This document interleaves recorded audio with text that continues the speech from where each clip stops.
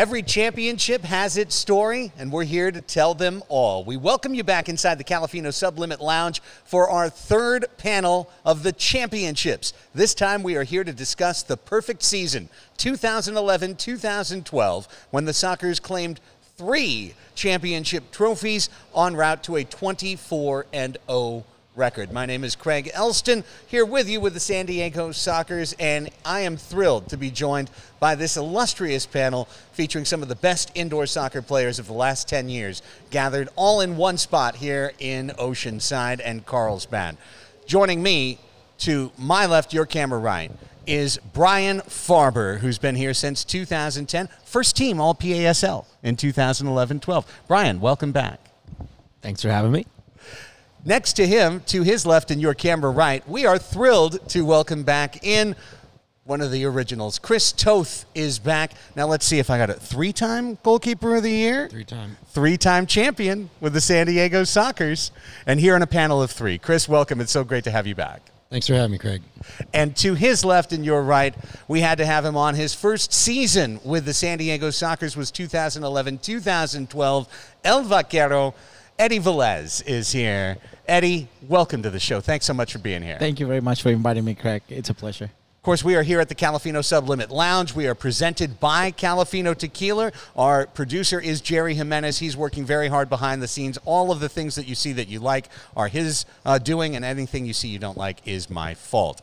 Uh, as we begin, guys, uh, on behalf of Califino, let's offer a toast to a perfect season. Cheers, gentlemen. Cheers and salute to you in the audience.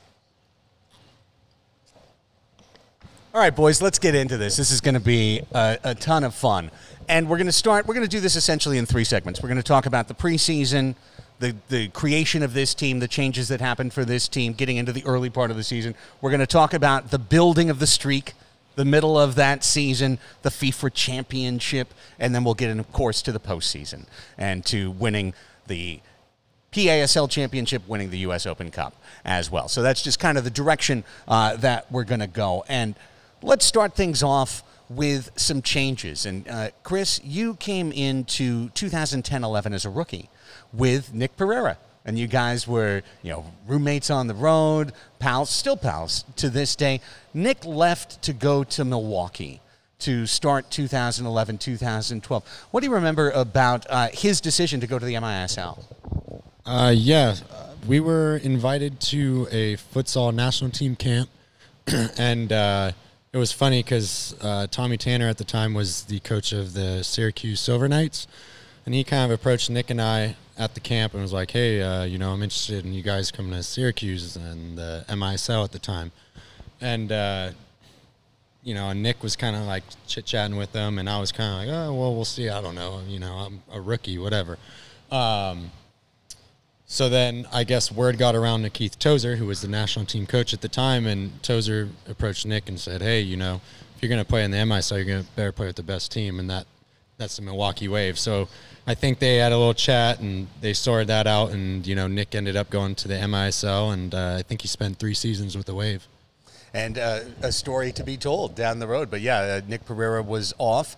That left one hole in the attack. A second hole in the attack came when Paul Wright signed with a brand new team, an expansion team, the Anaheim Bolts. And Brian, I wanted to bring you in on that one because the Sockers, the first two years, had a clear cut uh, rival, the California Cougars, right? The, the, kind of the next best team on the West Coast. And throughout the history of this Sockers franchise since 2009, there's generally been that one rival team that's been out there on the immediate horizon.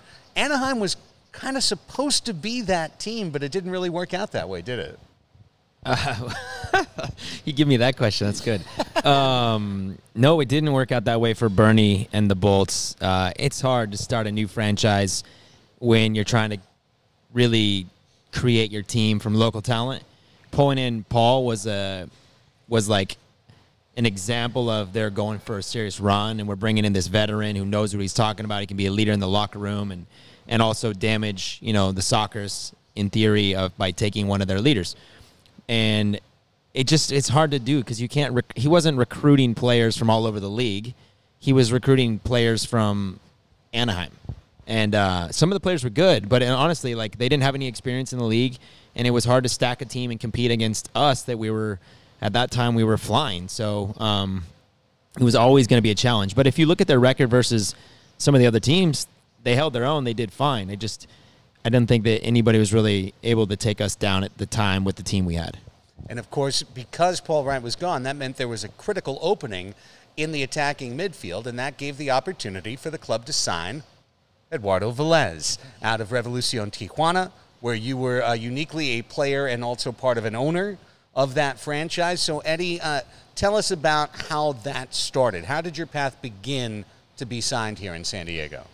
So it's a funny story because um, obviously, as you mentioned, uh, I was a part owner of the Revolution Tijuana, and uh, I, it, it everything just went down when I went to to support Bernie Lebois as a owner of the um, of, of a, of a franchise to Anaheim. Right, I saw Phil there, and then uh, we kind of talk a little bit and and um, one thing took it, uh, take it uh, take uh, took us to another thing, and it was like, dude, you should come to San Diego. It was uh, it was obviously something that I had to think about based on my family. I always um, put my family in front of it, uh, and and this is that was one of the easiest decisions to make in um, in conjunction with my wife, right? Uh, it was it was a no-brainer. It was everything that I always wanted to, and it was close to home. So um, Phil Phil and I we had a, a little talk. We kind of got to like obviously a little agreement here and there, and uh, like a couple months after that presentation, it was the presentation of Paul Wright as a first signing of the uh, Anaheim Bolts. Um, after that, I, I ended up signing with San Diego, but it was like kind of like everything low key. We were trying to keep everything low. And, and because I was still part owner of the Revolucion Tijuana, and I didn't want that to affect my uh, my image, obviously, as an owner. The research for tonight's show comes to you from not only all of the articles that we had archived at sdsockers.com as well as 619sports.net, the independent sports website I was using or working at that time uh, and operating, but also the videos that we created for the Sockers and for 619 Sports uh, over the course of 2011 2012. Those of you watching us here on YouTube have the opportunity to take in all of those videos. Everyone who is listening to the podcast version of this, hey, make sure you go on over, subscribe to the San Diego Sockers YouTube channel, and while you're here, on YouTube watching us, please give us that like, hit that like button, subscribe to the channel, hit the bell for notifications so that you'll know uh, when the next panel video comes out. And with that preamble, let's bring you one of the videos when I was at the Hall of Champions. We had this is how excited we were to sign Eddie Velez, guys. We went to the Hall of Champions to do a press conference. Uh, the coach John Quintero liked to do it big. He's a big fella. Uh, and I had the chance after uh, his introductory press conference to chat with a very young Eduardo Velez. We're here at the Hall of Champions. Sockers' press conference is done, and here he is, the newest San Diego soccer midfielder, Eduardo Velez. Uh, Eddie, you've had the opportunity to compete against these Sockers the last couple of years with Revolucion Tijuana. How exciting is it for you to now have the opportunity to put on the Sockers crest and to be running with these guys instead of against them? It's, I mean, it's great for me. I'm excited to be here, uh, and and uh, right now I, I don't have to worry about their them kicking me right now. so so now I'm happy to be here. I'm, I'm really excited and, and and I got a challenge here. I mean with the Sockers. You know, we brought this out in the press release. Uh, you were a part of the the last we like to say last ever ill-fated Sockers team, that 2004-2005 team where the checks were bouncing, that you guys would leave practice and have a race to get to the bank to try and see if your checks would cash, and you didn't actually get to play for the Sockers then. Is this kind of in a way a dream realized to be able to finally get that done seven years later? Uh, it's it's it is it is. I mean, uh, I was saying uh, I never seen me uh, coming back to San Diego. But when I see the opportunity, I didn't think about it. I mean, we just I just stuck with my wife, and and, and we make the decision. I mean, because we make this together. I mean, we're a family. So we we didn't think too much to come here. All right, so Eddie Velez, the newest San Diego Socker back in 2011. But if you happen to watch the 2010 2011 panel that uh, was the last one in this series, Scotty Martin was on the panel. And he said that Phil Salvagio came to him before signing you, as well as John Kraus, because of your elbows. and various other appendages uh, that had found their way into soccer players' bodies uh, down at Furati, uh, and that if they weren't okay with it, they weren't going to sign you. Now, that was their side of the story. So I'm curious what's your side of the story? There's no my side of the story.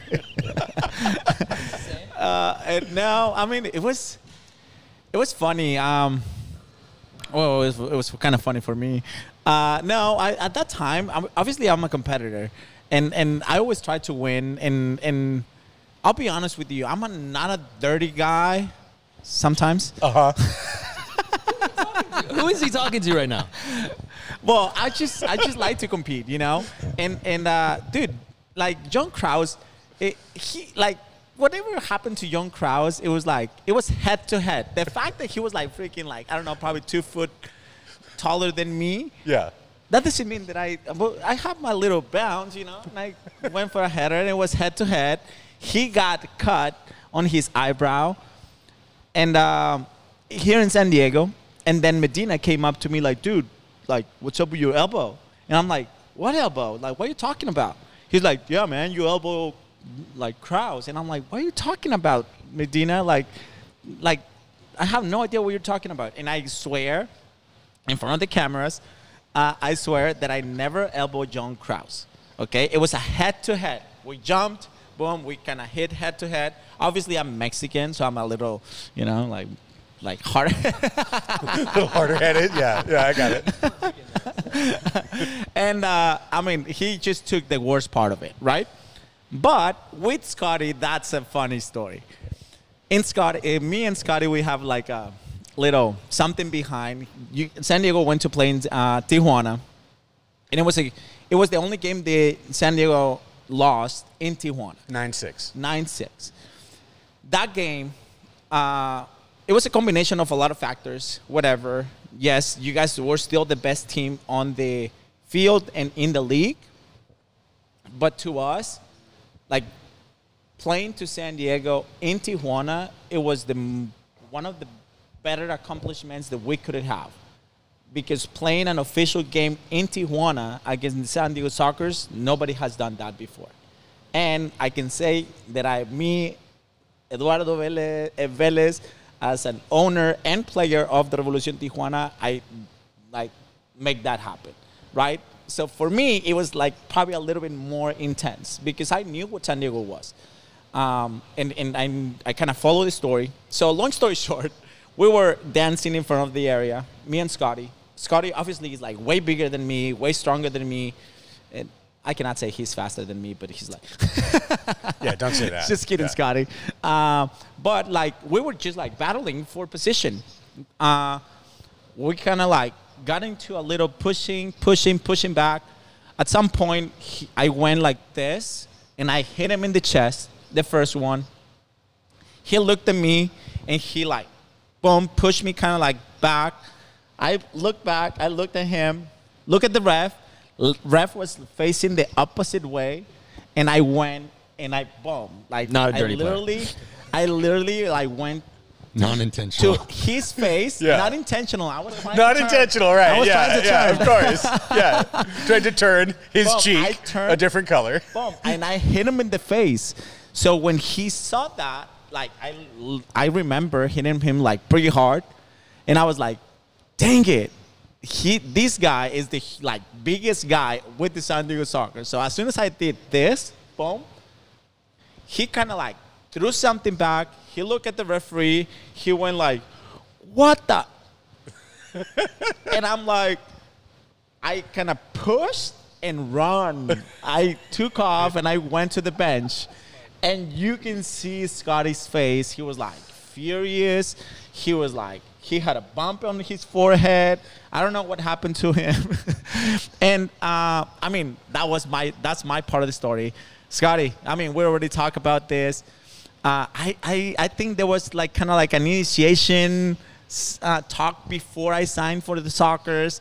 Um, and that was that story was told to me and never was part of it. But I can tell you that in the first two practices, I was like feeling the pain from Scotty and John Kraus at practice. Everybody felt Scotty and John's pain in practice, regardless of throwing elbows to their head intentionally. But that story, I wasn't here for it, but I heard the story was that during that off season, and the guys were still like, you know, playing morning or YMCA games for fun. Is that basically at one point they were like, "This dude wants to come back? No, that ain't happening unless it gets it gets signed off by these two guys." So you're lucky that they uh, they're forgiving. Well, I'm they also wanted to win, so they wanted you on the team, which made sense. But at the same time, you were here for that. So do you remember that?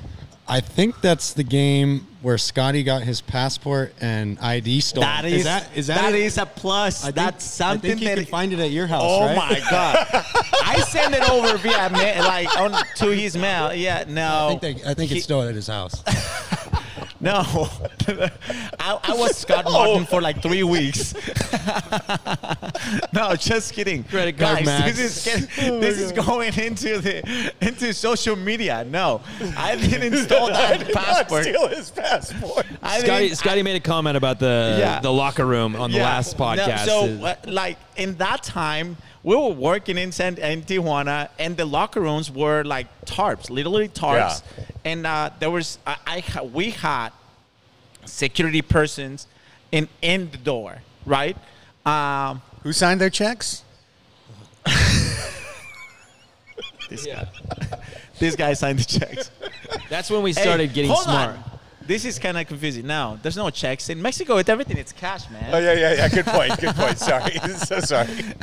That's so Yeah. me. Moving forward, we had a bin for everybody's watches, wallets, keys, anything that was of value, phones, put into a bag and given to Coach K or the biggest guy that was That's there. the, the smartest thing we ever done as a team. Learn Put from all the valuables together in Right. one bag, and so nobody loses anything, Yeah, right? I mean, that's took- or you smart lose it all. We took the medical stuff out of the med kit bag and replaced it with all of our personal Yeah. value and kept it with Paul. I. I, I cannot take res- full responsibility for that. It was my responsibility to keep everyone safe. But I don't even know how that happened, to be honest. I don't like honestly. I don't know. He lost his wallet. He lost his passport, and and he got elbowed during the game. Yeah, and and and So that's a plus. injury to insult. Minor concussion. They always say insult to injury, but I think it's injury to insult. Yeah. Uh, no, he uh, was in more. He was more furious about like probably the ref not making the call and me not getting a red card than whatever like he got like he got from me. I mean, it, I mean, Scotty's like freaking like if you look at Scotty still right now, he's like freaking Hulk right now. Like he's like, Yeah. like He got you back. But yeah, he did, he did. I want to go back to a statement that Eddie just made a second ago saying that I'm not calling you a dirty player. I'm just saying you're not the cleanest player. And I have a vivid memory of Detroit. yes. You know where I'm going with this. Do I even need to, should I tell the story or should we save this for the next? Oh well, because it's not- this year. Uh, hold on, can we talk about this? I in just front want of to the camera. get it out there. You said, and I just want to use your words that I'm not a dirty player, and I just want to make sure that we're establishing. We're not calling you dirty. No. We're just saying you're not clean. Oh wait, are we talking about the elbow to? No. Uh, No, No. no, we're not talking about an elbow. we're not talking a about the elbow. Full fledged. Maybe we shouldn't say it on Three- social media. It- no, but- that's what I'm saying. I like, mean, this is. I, I can picture it. It looked like a street It was like three in the middle of the field. It was three. That was one of my like fastest three punches in my life.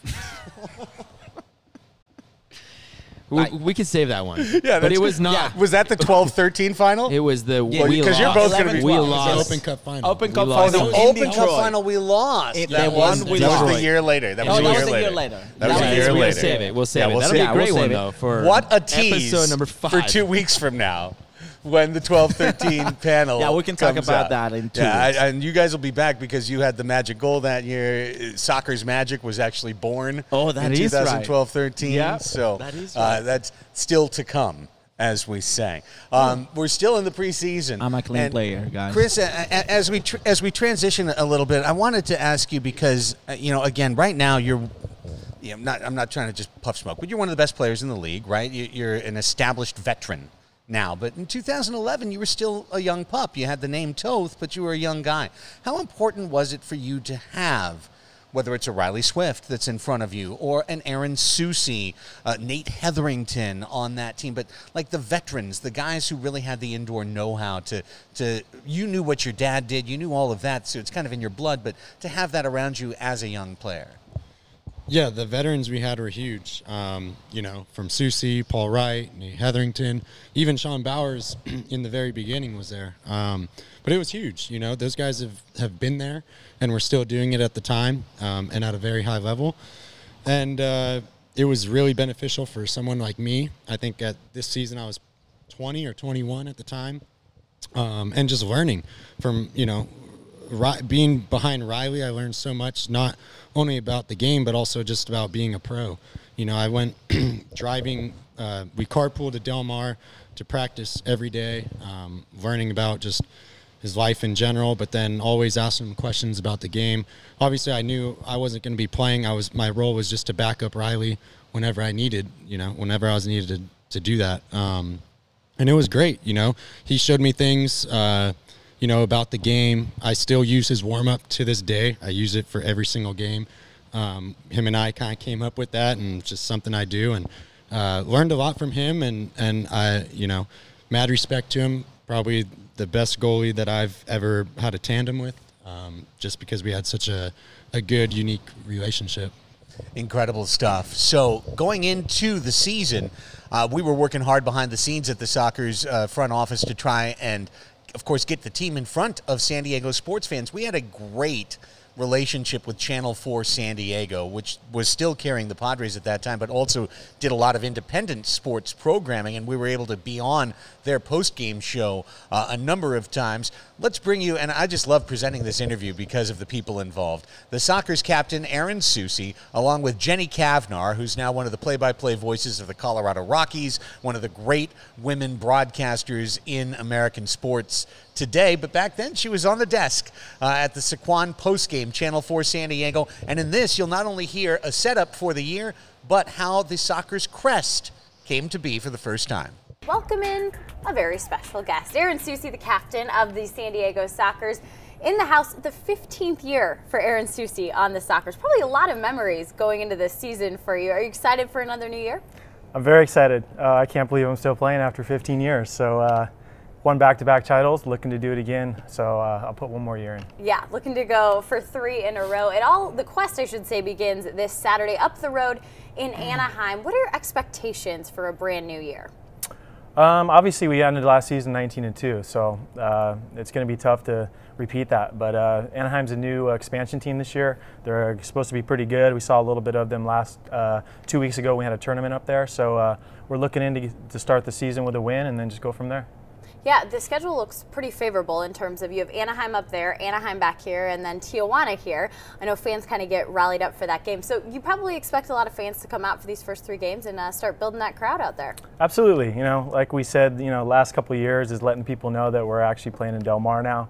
Uh, I think a lot of the people know that, and we're still continuing our winning way. So uh, hopefully the fans come out there, see how much fun it is, and continue to come. All right, let's talk about this roster a little bit. Uh, it looks pretty similar to that championship team from last year. Just uh, maybe one new face, a few more. Yeah. Um, unfortunately, we lost one player in Paul Wright, which is a, a pr- pretty popular guy that uh, most people know in San Diego for indoor soccer. Uh, he left to go up and play in Anaheim, so uh, we filled that roster spot with a player by the name of Eddie Velez, who played in Tijuana last year. Um, and when the season ended last year, he was leading, leading the league in points. So we got another uh, person to add a lot of firepower to the soccer, so it's exciting. All right, what have you been doing since last year? The summer, you worked for the team, so Yeah. a lot has probably been going on and transitioning. I noticed a new little logo Yes. on your shirt there. Tell, tell us about the creation of that. Yeah, um, it's something we've kind of been on, working on for a little bit. Um, it's a 4D logo. Uh, it's pretty cool. We got the San Diego landscape, uh, uh, skyscraper in the background. Then we have 12 stars representing the 12 championships that we have. So it's pretty cool. Kind of just uh, launching it here in the next in, within the last couple weeks. So it's exciting, and uh, there's a lot of new gear. And uh, as you can see, we also moved to Nike. So we just signed a three-year deal with Nike, and uh, you can go on our web our website uh, San Diego, uh, SanDiegoSoccers.com and uh, click on the link to go to Nike store and buy all, all the gear that you want. Well, it seems like there's a lot of growth for the team. Clearly, when you have back-to-back championships, Mm-hmm. you start to get a lot of recognition. Talk about another way fans can get involved, especially for your road games. When they can't attend a game, they can now listen to it on the radio. Yeah, we uh, just partner with ESPN Radio, so uh, they're doing great. 10 games. I'm not sure if they're all home games or if it's a mixture of home and away, but uh, yeah, we're on ESPN Radio, and uh, it's exciting for us. All right, what's training been like? That's always the tough part, right? I'm sure you're just ready to play games, but what is it organized or is it individual at this point? Uh, no, it's organized. You know, uh, with indoor soccer, just like hockey or anything, you got to go over set plays, power plays, stuff like that. So it's very organized, but um, we're definitely ready to get the season started. All right. I'm sick of training. What was that? I'm sick of training. I'm ready I to get it going. You are. That's the worst part, Right? right? Well, you talked a little bit about Anaheim, but kind of who on your schedule are you guys most looking forward to without kind of looking too far ahead? Is there one team in particular that the Sockers are ready to take on? Um, I would. I mean, Anaheim would be the team, Right. just because uh, the coach of the team is a guy I played with for a long time. Yep. Uh, he knows indoor soccer, and he's going to bring some good players in there. So I would say um, they're going to be a new rival for us. So it's it, it's good, just like Tijuana is. A couple rivals close to us. All right. Well, always good to see you, Aaron. Thanks so much for stopping by. Best of luck in the 2011-2012 season. Aaron Susi, uh, really one of the front facing guys for the San Diego Sockers in the beginning of the restart of this franchise. Of course, a five time champion in the PASL, uh, and the PASL playoff MVP was eventually named the Aaron Susi Trophy before the league uh, dropped. But Susi was a leader in many ways. And Brian, we were just talking during that video, the creation of the perfect season, the 2011 12. Let's, let's go through our sliding doors moment here of what could have been. You were almost a Milwaukee Wave. I had contract. Tozer, I'm sorry. If you ever see this, I apologize. I had my contract from Keith in my inbox for the second year in a row. Um, I wasn't using the wave to be a negotiation. I signed. I actually traded in my car. This remember, I was in Carolina, which we talked about last time. I was in Carolina with my wife, Christy, who was pregnant with Ari, and it was Milwaukee. Here we come. Traded in my car to get an SUV because it was going to be winter. And uh, about three hours before I signed my contract, I text Seuss and he called me immediately and was like, "What are you doing, bro? You're part of this organization. You just won two championships last year." I'm like, "I haven't really talked to Phil that much. I don't know what's going on." Uh, he's like, "No, no, no, no, no." Not happening. So he stopped it. I literally got a contract within the day and confirmed that I was coming to San Diego, and then I had to call Tozer back. It was rough. How happy was Keith with you? It was, it was a problem because it was the second time I did it to him. Previously, I just took the season off and I just didn't sign and I didn't go. Uh, so he'd been trying to get me for some time. He'll tell you the story. You should ask him one time. He's, he's not happy about it. But Keith and I are friends. And uh, listen, if I was going to sign anywhere else for any other coach, it was him. The circumstances were we were pregnant. Phil and my contract and our agreement put us in a position where we could have our daughter and feel comfortable with the way we were living. And my wife wanted to be back in San Diego, so it was kind of like a, a no brainer. If I said to you, Do you want to move to Milwaukee for the winter Yeah. or San Diego? Right. It's an easy answer. Unless my name's Marcio, the answer is uh, She was 50% of that decision. And so, Keith, you can take it up with her. Um, you know her number. Keith and her work together with and Califino. Dude, like now that you mention, like, like now that you point this out, like, for, like, dude, Phil has done so much for Everybody. like a lot of us. well, I was saying that last time. We're a family Dude, because like- of Phil. like in front of the cameras, like obviously, and I know he has done so much for so many people, but I just want to thank for myself and for my family. Phil, thank you very much for putting me in this situation and giving my family the opportunity to live this. Uh, I could have done, I could I could not done this without you and your support and obviously like great teammates that I have, right? All this organization, uh, Craig Elsten, everyone involved in this. I like guys, like honestly, thank you very much for that. And now pointing this out, like Phil made that happen for you, and he literally made that happen for for my family. Like it's it's just like a different, it's something different that, that he added to my family for them to have a better future and just a different a difference maker for the rest of their lives. Yeah, he's done that for a lot of people, right? Yes. And we're not the only two, and we won't be the last two. And um, that's what's special about this organization. And, that's why we can have a Chris Toth back here as well. The Sockers are always family. Like, if you're a Socker, if you're part of the Sockers, you're part of this family, and that Cheers family to that, lasts man. forever. Cheers to that. Man. Let's do that. You're empty. We're gonna need another drink Yeah, over we're gonna, here we for need, Chris. we're gonna need a refill during this next video. refill, please. Window. Well, it's perfect time to switch to a video then. The the 2011-12 season. Hold on, before you do that, we got to talk about what else Susi did, Okay, right? Absolutely. So, and I, the only reason I want to just, I don't want to elide it. I want to just glide by it is because Craig isn't here. Yeah. And, and I want to have Craig tell that story maybe in, in the next panel. But he was going to be a Missouri Comet. Yeah, it looked that way for Like- a period of time. There, there was a moment, like it was, it was a maybe at least. This is before Chiles and I were boys, so I didn't know the story as well. But he's told it to me since because now I know him well. But I've heard the story where he was nearly gone, and I think that the discussions were happening. Contract was offered, and uh, it was a real consideration. And then Susi, I think, kind of went to Phil and was like, "We can't lose this guy," and uh, and and fixed it right. But Susi was our leader. He was our captain. He's an amazing captain, and I had a cap. He was my captain in in Stockton prior, and I got to experience that. And then down here, but he's a, a locker room leader. He's not a selfish player. He's the type of guy who will give you the credit when it's due, and also try to help promote you. So. Um, he did that for a lot of guys in this team, and he helped keep the team together. And even in the early days of Phil's coaching career, guide him to an extent to championships and decisions and probably a lot of decisions are made that we're not even aware of with the roster and front office decisions. So uh, kudos to Seuss and the relationship that he had with Phil and, and what really got us all to where we are. I'll only button that by saying that Aaron Susi was invited to the 2011-12 panel and let me know that he was out of town for this. Uh, and I'm hoping that he's watching this video and will be a part of our 2012-2013 panel because uh, Aaron is one of the greatest Sockers of the modern era, and we would love to have his side of all of these rich stories. But let's get into the season now because the San Diego Sockers would never lose in the 2011-12 campaign, and their first game would be at the Anaheim Convention Center, taking on the Anaheim Bolts. Paul Wright, Bernie the Bolt, the whole thing. Could they upset the apple cart in Game One? Uh, the answer was a resounding no. The highlights right here.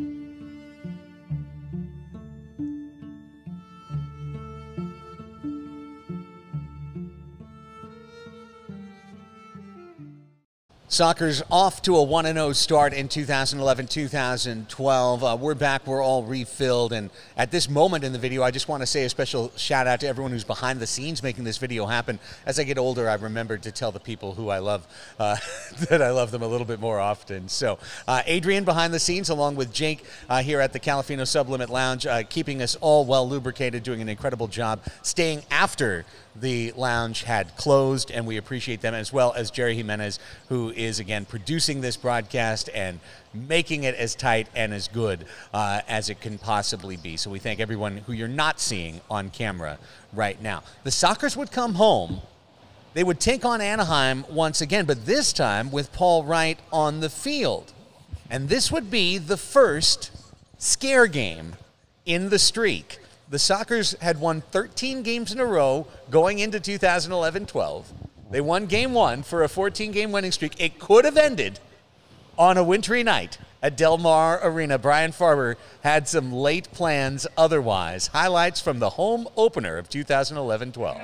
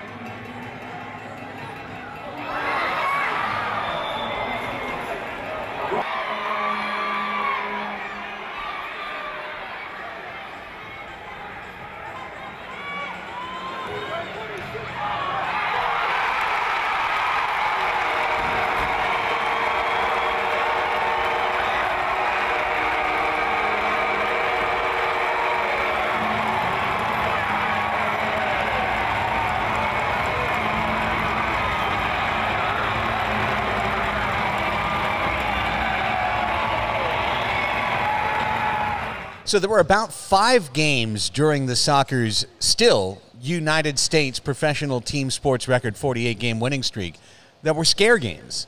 And this was the first one. It was actually pretty much the only one of 2011 2012, but this was the one. Paul Wright trying to do his other team dirty, trying to go into Del Mar Arena and pick up the win.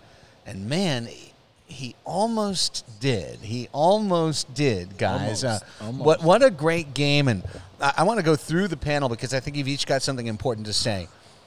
Eddie, I'll start with you. Miguel Honorado is a guy who's who's living well out of town now. He's living across the country, so he's not going to be a part of this panel. But he was a part of multiple championship teams. Scored the game tying goal on a, a, a sixth attacker set piece there with 48 seconds left in the match. How good was Miguel Honorado? He was really good, man. He was one of the only like the few players that he can hit the ball both feet. Uh, and and he was always so calm. You can you can never tell if he was mad or he was excited or he was like always kind of like on the same mood. Like he was like kind of like this. Even on the road trip, right? When he was a DJ. Remember he was in control. He had control of the music. He's like, "Oh, dude, like Miguel was like he was a baller. He was uh, like to me, honestly, he was one of like the top players in the league at that moment. Obviously, he was playing for us, and uh, dude, like Chiqui literally like set him set him up for for a good shot on that on that set piece. Now to Chris, uh, because as we watched those highlights back, you saw yourself like 11 years ago telling Riley after the game, you won the game. Uh, because as we saw in that highlight run, every once in a while, Riley would be hung out to dry pretty good and have to make some spectacular saves. He made one on right that changed the game.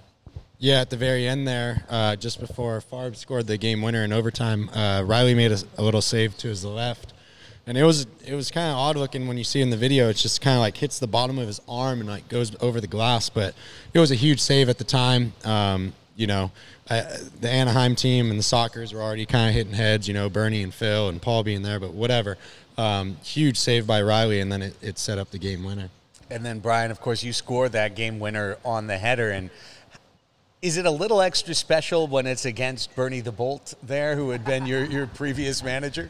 no, it wasn't any extra special. I think the special thing was this is we were starting to get into this um, conversation around how many games early. It was early, but it was we're at 15 games, but we were starting to talk about like no one's gonna beat us. Like we're starting to get that chip on our shoulder, and I don't I don't necessarily mean we were being arrogant, but we started feeling like we were very confident in ourselves that no one's gonna beat us, and this was a nice slap in the face. It was Uh, the year iPads came out. Oh, that's what We're was getting gonna there. bring. We're getting there. Yeah. Don't worry. It's we are coming. getting there. But we got we got slapped in the face at home. I don't think we ever lost a game in Del Mar ever. Right? Correct. We never lost.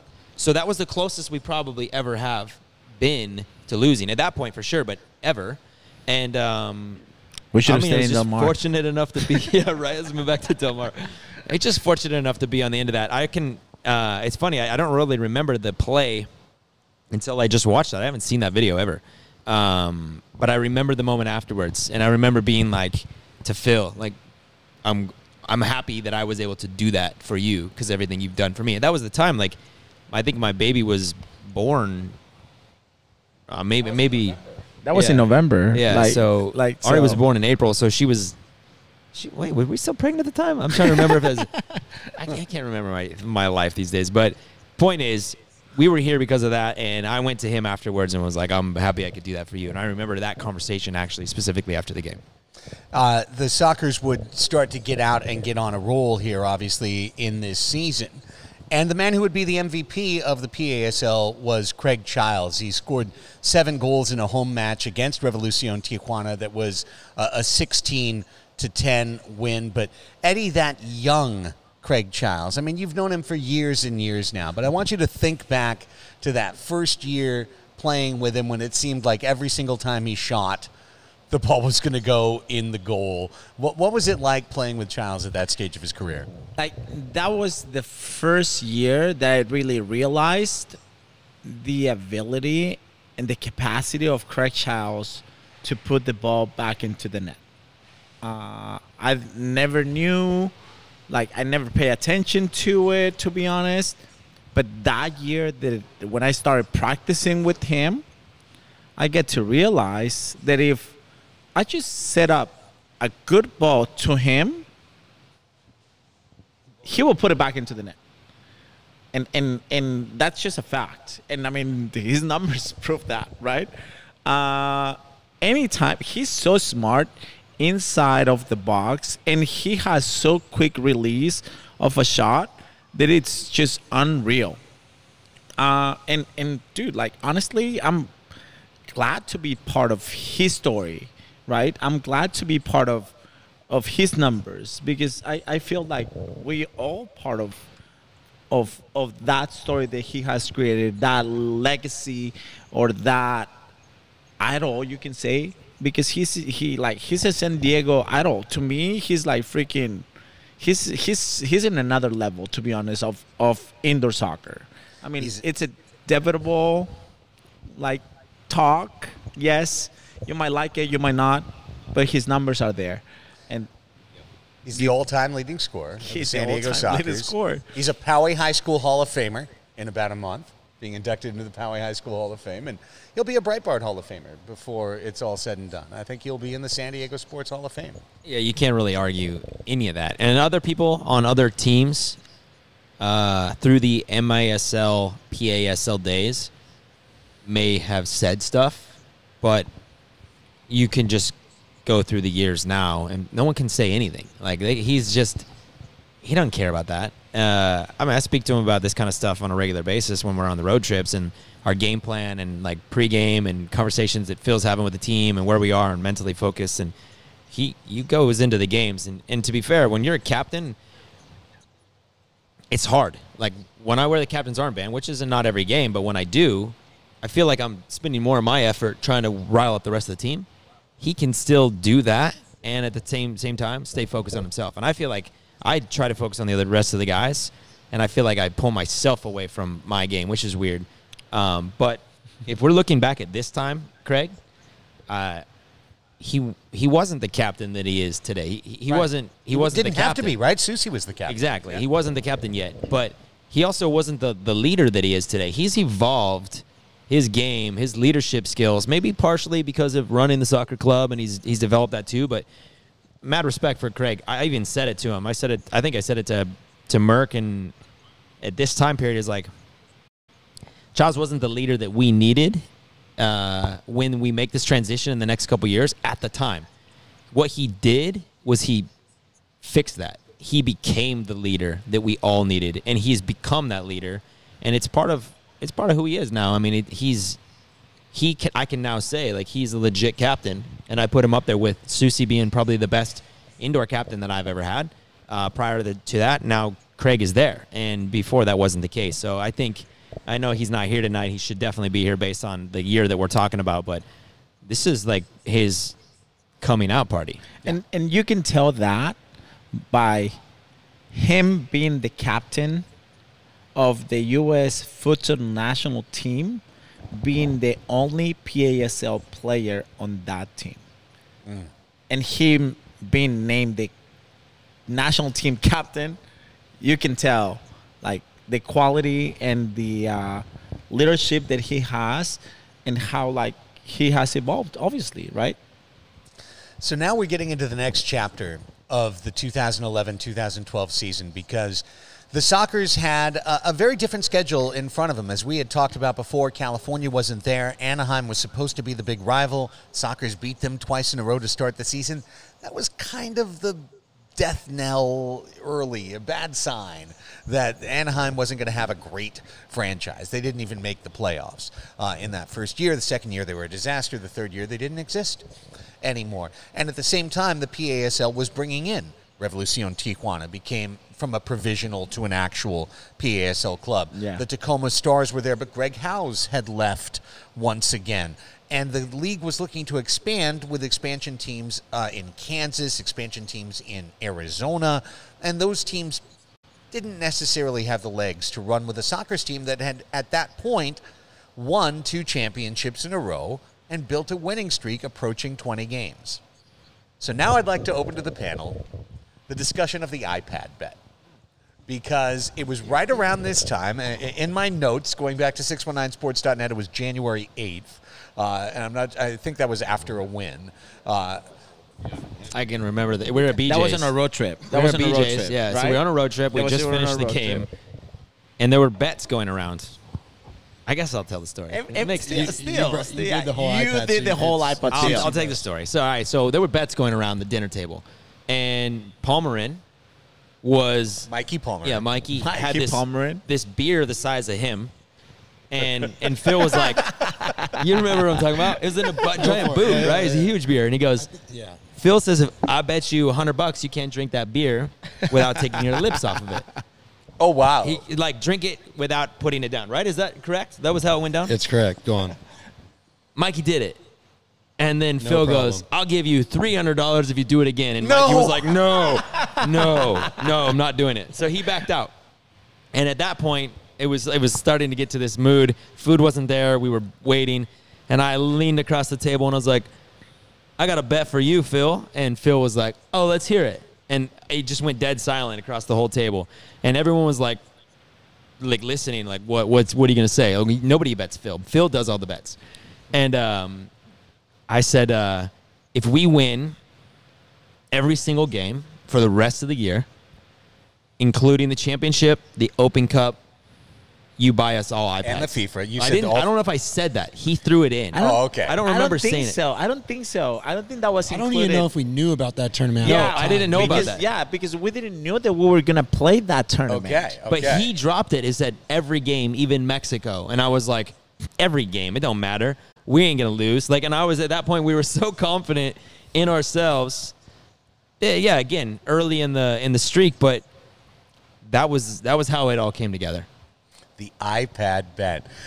What was it, uh, Chris? What was a 2012 iPad like? I, I, I never bought. I never had one. I still have mine, man. It, I don't. It, it I turns on. Battery probably dies a little faster than Yeah. it normally should, but uh, it was a good iPad. It's all engraved on the back. It's got the Yeah. logo and everything, and, the, and our number, your number. Yeah, it's nice. Yeah, I mean, really, is they were all don't- you don't- engraved. Yes. You don't get rid of something like that. You Yeah. know, it's a special a thing. special Even if it doesn't work, you, you keep that. That's incredible. special I did thing. not know you got them engraved. I Should have brought mine. That's amazing. So the iPad bet was made at the beginning of January, and then the Sockers went on a wild January. And I, I went back again through my notes to find this out. The Sockers played eight games in 22 days in the month of January. Those eight games were four back to backs. So it wasn't just eight games, it was two, two, two, two. And of course, the Sockers went 8 0. I do remember specifically the first time Phil Salvagio acknowledged the streak, at least to me. Because, of course, I'm around as your media guy and I'm writing these stories and I'm doing the interviews. And so, you know, numbers guy like I am, you know, hey, you know, the Sockers have won. And every time I would say, well, you know, the Sockers have won. I wouldn't even get to the number. He'd go, stop. I don't want to hear it. Don't tell me. I don't want to hear it. And I remember being on the plane home from Tacoma. You guys won back-to-back games in Tacoma. I believe Riley had a shutout, five nothing, in in the second game. Uh, Scott Martin was sick as death uh, with the flu on that trip. Yeah, we to- can call it the sick. yeah, and I, uh, he was he was like in the the referee's box that game, uh, looking extremely pale. And we were on the flight home. We were on the flight home, and I was writing stuff and whatnot, and and Phil had blown me off like four times on this, and then finally he was across the aisle from me, and he just, how many have we won? Was it? It was that time. It was twenty two. I was like, twenty two games in a row. He goes, Who who asked you? Phil. And, and he's like, oh, that's pretty good. I was like, okay, the streak is on. Like from that point, once Phil acknowledged it, we started to cover it on a very regular basis that the streak was happening. It, it went to an 8 and 0 January. And the eighth game was against Revolucion Tijuana. It was a 13 to 2 game. It was a game that this man, Chris Toth, was in net for, and it was a game that Anthony Medina scored one of his most famous goals. Let's show you the highlights of that one.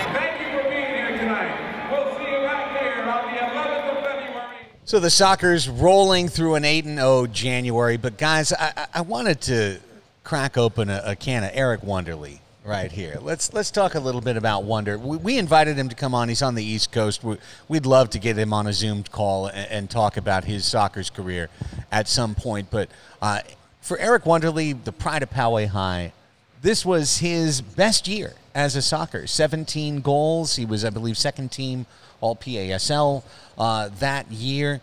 What made, uh, just open it to the group, and I'd love to hear from all of you. What made Eric Wonderly a good player? Wonder Bombs, probably the warm up. Wonder Bombs. like all I remember from Wonderly, it was like he was he was a, such a great guy. It was my first year, and and I remember him always like smashing balls even before warm ups to the goal, and I was like, holy cow, what is this guy doing? But like he did it every single game, and he never got hurt and he was not young. Well, he was younger than me. I was 30. He was probably a little younger than me, one year, two years, whatever. But I was like, dude, I still remember that. Chris? he had a hunger to just score goals. And, you know, the team would warm up, but Wonder would do Wonder. And I would be warming up in the goal, or Riley would be warming up in the goal, whatever. And Riley would, or uh, Wendy would just be shooting. And it was like, dude, we're standing here, Wendy. Like, we need the goal, and you're going to hit us. You're going to knock one of us out. Because he had, in my opinion, his left foot was the strongest on the team at the time. I mean, I've been drilled by him many times, and it just felt different. You know, it was no fun. And so, like, if he had a wide open shot, you just kind of moved out of the way in training. Um, but he just had a hunger of scoring goals. You know, he just loved it. I, he he could be a foot in front of the goal, and he's going to hit it as hard as he can. I, I think there's a story out there that he played um, in the Encinitas YMCA league, and he was right in front of a, a goalie who I think was a woman at the time, and he slammed it, I guess, and just right in front of her, like no mercy. And that just that sums up what Wendy was. But he his ability to score and also just to create opportunities to shoot. Um, were were you know his kind of separation, kind of where he he excelled. Um, but in my opinion, he was a really really good player that we had, and we were lucky to have him. Yeah, we we spoke about this last episode. Was like on any given day, Wonder could be your man of the match, or he could have a very quiet game. Uh, you said it a second ago during the clip, but it was a lot of it was mental uh, for him. Was if he had a good warm up, you knew Wendy was going to be there, and uh, and I guess you could kind of judge him like on the warm up. I would watch his warm ups. You know how we do the, the ball off the Yes. boards, the ball in, and as soon as the ball would come off his foot on the first hit, and if it go up there, I'd be like, oh god, it's gonna be a long day for Wendy, or it would fly into the net and be like, Wendy's on. Like this other dude on the other end of the field better look out. Like Chris said, he can hit the ball. So he had a nickname of Wonder Bomb for a reason. He could smash the ball. Bombs. And uh, and I think I think maybe one of the undervalued thing about Wendy was he was never any drama ever. I don't remember ever any drama on the field ever with him. Like he just wanted to to play his part, and whether he got points or didn't, it was all about the team. And uh, you know, I've known Wendy in the professional environment. I worked with him on the professional level in corporate, and uh, he's the same way. His personality is the exact same way. He gets the job done. He does it well, and uh, maybe he's a little inconsistent from time to time, but um, he was he was a huge part of our family and our team, especially during this uh, this streak. Also, the biggest Tiger Woods fan I think I know. He would wear red on Sundays just when we were on road trips Yeah. because Tiger might be in a tournament. Um, and definitely the proudest Poway Titan because I don't know. I mean, I'm sure Kraig Chiles has scored more goals in Poway alumni games. I'm just guessing, like, you know, I'm guessing, but I heard about every one of Eric Wonderly's Poway alumni game goals. A special school that those guys have. Uh, as the season continued and the Sockers kept their roll up, there was a milestone moment as the Sockers advanced to the U.S. Open Cup final. They beat in the semifinal Turlock, a 10-8 game. It was, this happened all the time in the PASL at that time. You guys would play doubles, meaning it's a, it's a regular season game, but it's also a U.S. Open Cup game at the exact same time. And in that game, Aaron Susi scored his 500th career point as an indoor professional, and we talked to him about it afterwards.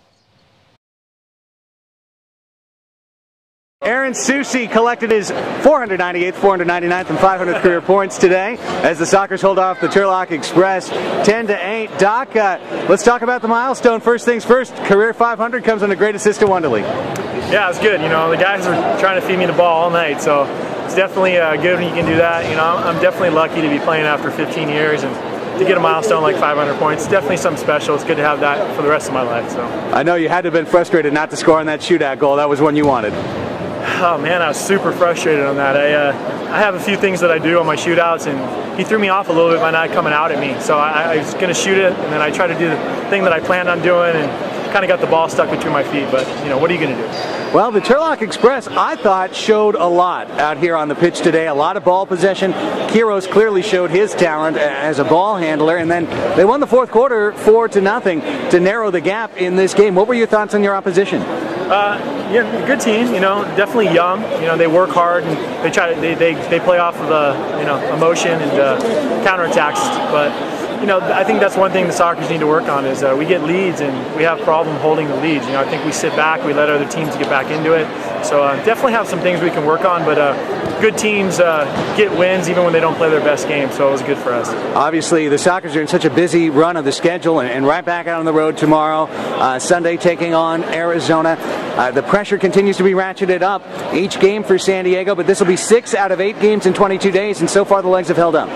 Yeah, uh, we've definitely been training hard, so uh, we're feeling good right now. Definitely have a test uh, going into Arizona tomorrow. Um, I think we will be good. Go out there, work hard, hopefully get the W, come back, and uh, we got another back-to-back next weekend. So. And now a thought on advancing to the U.S. Open Cup Championship. The Sockers booked that trip tonight, punched their ticket. They'll be flying President's Day. We don't know whether to Detroit or Cincinnati yet, but an opportunity now to go for the three-peat in the Open Cup. Absolutely, you know it's a good win. You know we, we, we play for things like this during the season, the Open Cup and the championship, and uh, you know it's a good win for us tonight. And uh, it, we'll look forward to go back east to play one of those two teams. Aaron Susi, congratulations on your 500th career point. Thank you very much, buddy. I had this on the list, but let's talk about it right now because I just saw his picture. It was right at this time, guys, that the Sockers signed Antonio Sutton, who was one of the leaders of the California Cougars. The Cougars had folded. Sutton wasn't in the league. He became a Socker. And Brian, you were a teammate of his uh, back in Stockton with the Cougars. Tell, tell me about how he came to this club. Yeah, he was coaching in Sacramento. He was essentially not moving, not chasing a contract. He was a veteran. He was older. Um, but Sutton was the man. Uh, I personally uh, have a story that ties back to Suts. Is my rookie year, I walked onto the Cougars, and in preseason, I didn't know anything. I knew nothing, and I I sprained my MCL in uh, preseason. He showed up from Dallas, and I remember he drove in in his red BMW. He was a couple days late, but he kind of had like veteran status, so it didn't matter. And he was actually still coming back from either like a hernia surgery or something like that. And um, every day we would do fitness on the other field, and the team would train, and we would do. I could run straight, but I couldn't cut, so we were like rehabbing together. And I spent a lot of time with Suts in the very beginning. He was teaching me everything. And we'd sit on the sidelines, we'd watch 5v5, and he'd talk about when to step, when to drop. So, in fact, like when I look back on it all, I, I remember those days of like Sutton helped me a ton before the season even started my rookie year. And then throughout the season, he was a guy who would always put his arm on my shoulder and be like, listen, you got to do this, you got to do this, you got to do that differently. And he would help me instead of criticize like uh, Neil Gilbert or somebody else like that. He would he would teach me. Uh, so Sutton was my boy, and by the time that I finished my time in California, he and I were tight. And uh, this opportunity came about to strengthen our team, even though we didn't necessarily need it. I think we were preparing for Open Cup games. There was a reason why we called them up. Somebody was injured. Someone remember it was like so many so many injuries. Yeah. I started the season as a forward right. this year, And then Phil talked to me like I don't know five six games into the season, and he was like, Eddie, I need you to move back into defense. And I'm like, wait, what? Well, also John Kraus left. That's he, what wa- it he was. was at That's the very beginning of is the right. year, and then he left for Turkey, I believe, and that might have been the year before. No, He- was- this was this year. But not Yeah. everybody could go down to Mexico, which we knew at this point in time of the season. And I think it was like Diego that couldn't go, or mm-hmm. maybe he was arriving late. I think Wonder couldn't go. There were a few guys, and so I think Phil was trying to piece together the team a little bit for that and prepare. and Nate was coming in for the first day, but he had to he had to go back That's on the second Oh, day. right.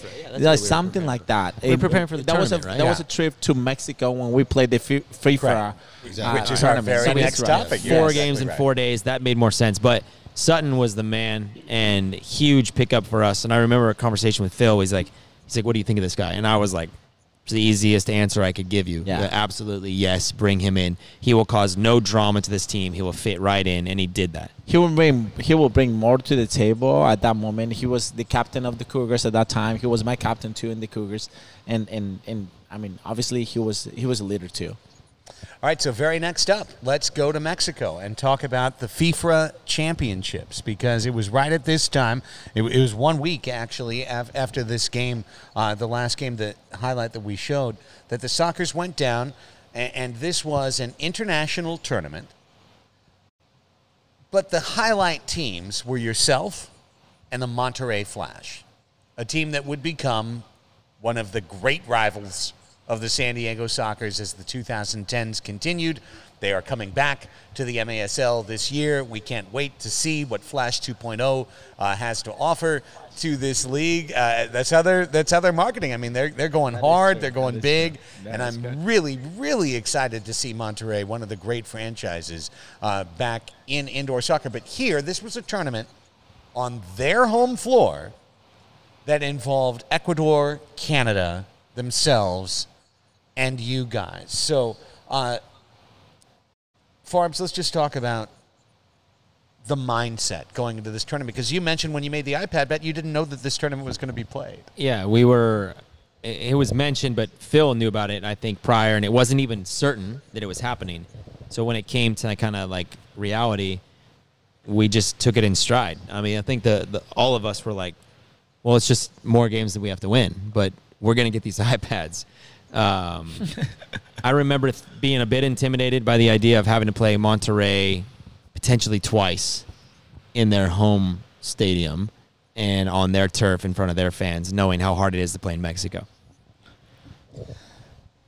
Yeah, I mean, uh, we went down there. Normally, in these types of tournaments, at least now, what I've realized i i with beach soccer is when you have the two heavyweights, they normally meet last in the group. And I know there was a final; it was like a first and second play each other in the final.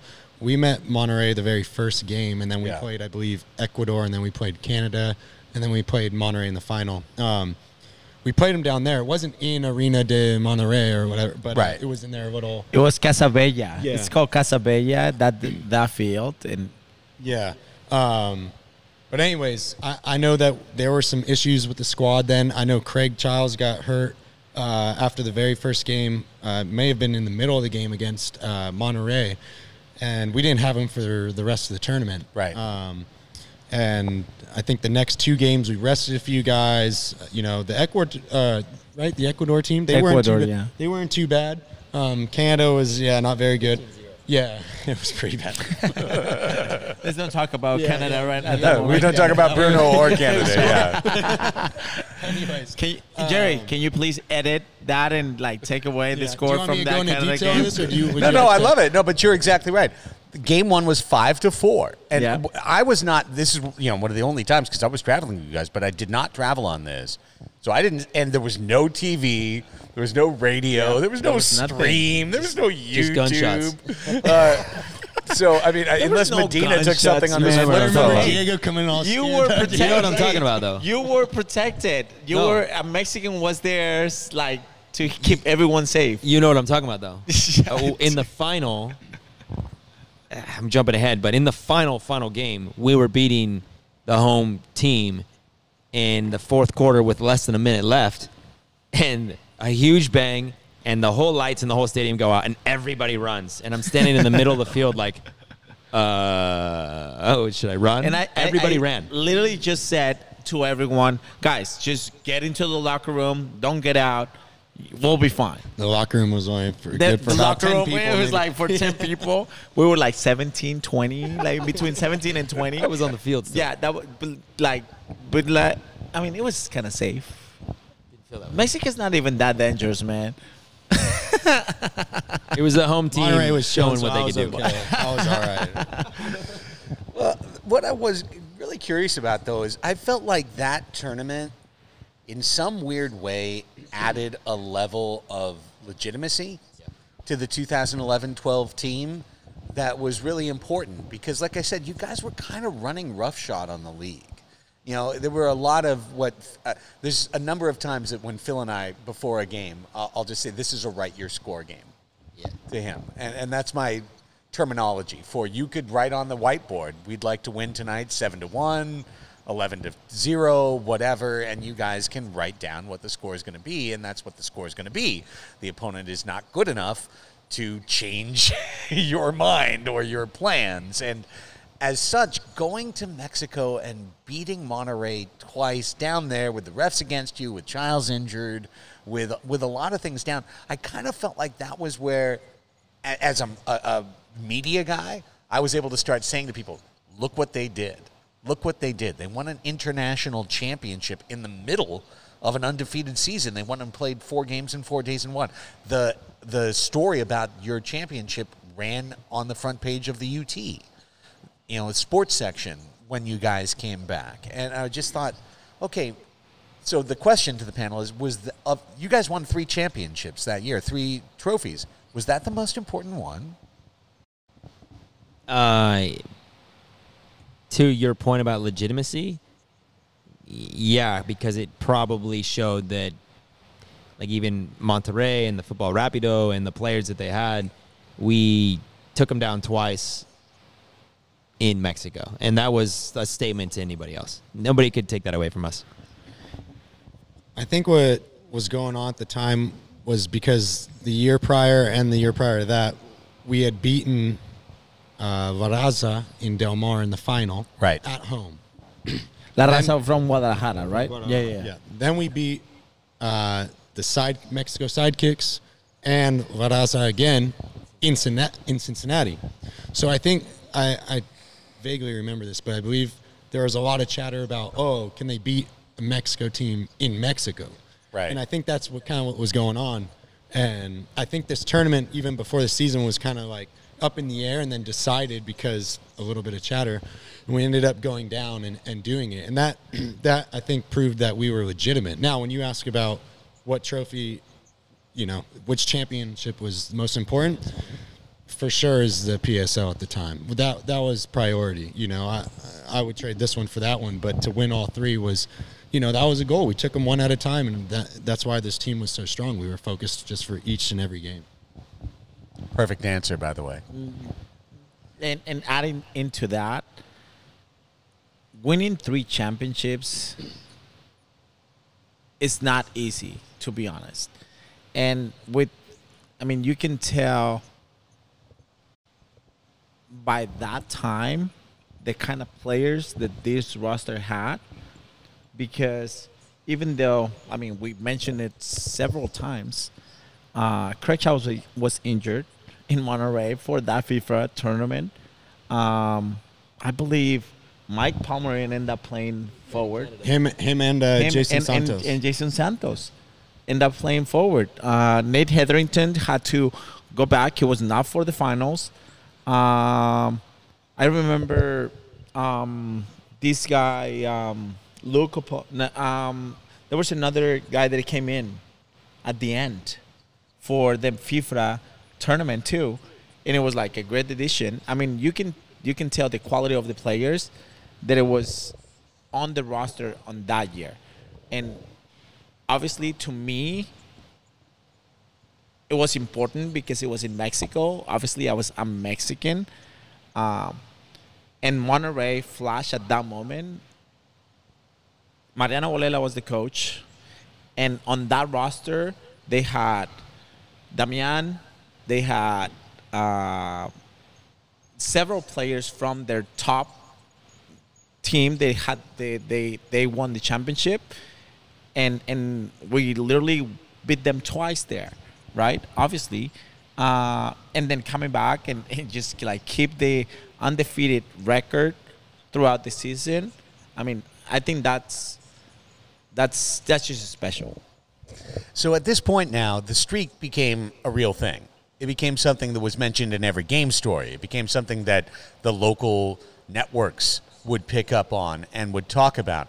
So we talked to some of the San Diego Sockers' players about how they felt about the streak. Understanding that competition as uh, your success continues and the winning streaks grow, opportunity to go 30 and 0 at home on Saturday, uh, opportunity for a 24th straight win on Saturday. Does the pressure build along with that with that expectation of success? Um, I mean, don't talk about the no-no, right? uh, we don't really talk about the whole undefeated thing. I mean, we never expect to lose. Obviously, every time we step on the field, we think we're going to win, even if we're down at halftime or anything like that. But uh, I mean, yeah, I mean, I guess it'd be you know pretty cool to be undefeated. We're on a roll. Um, we have a couple streaks on the line, and we know it's important every time we play at home to uh, to bring the intensity and, and go for the W. That's a question everybody seems to be asking lately. You know, especially with our overtime win here. We almost lost that streak earlier in the year. So it's important, you know, it weighs a lot on our minds. We want to keep that streak intact, of course. And so uh, very important. We, we take it very seriously when, when we're here at home. So the Sockers were rolling, heading into the very final games of the regular season and winning everything in front of them. At that time, I was working with a great guy named Dave Evenson, Evo Streams Productions. He was handling all of the video for the San Diego Sockers, and one of the things he was doing was miking up players during games to get post game great, you know, uh, man of the moment uh, type stuff. Here's Brian Farber, marked, mic'd up in 2011 12. I got my lucky gum. What's your lucky gum? Any, pretty much any gum. As long as I have it, I call it lucky.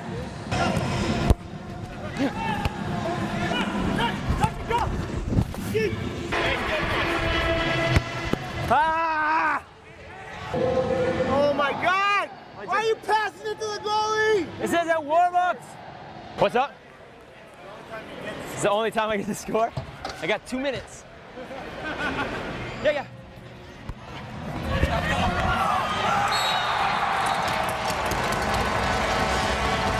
Yeah, baby. Cool. Celebrations suck. I don't. I don't celebrate well. I'm not really into that. That money's not gonna happen. No, no, no, no. Not yet. Let me touch the ball. Go get it. Grab him. Oh, that's how I'm gonna score. I'm gonna score with a man down.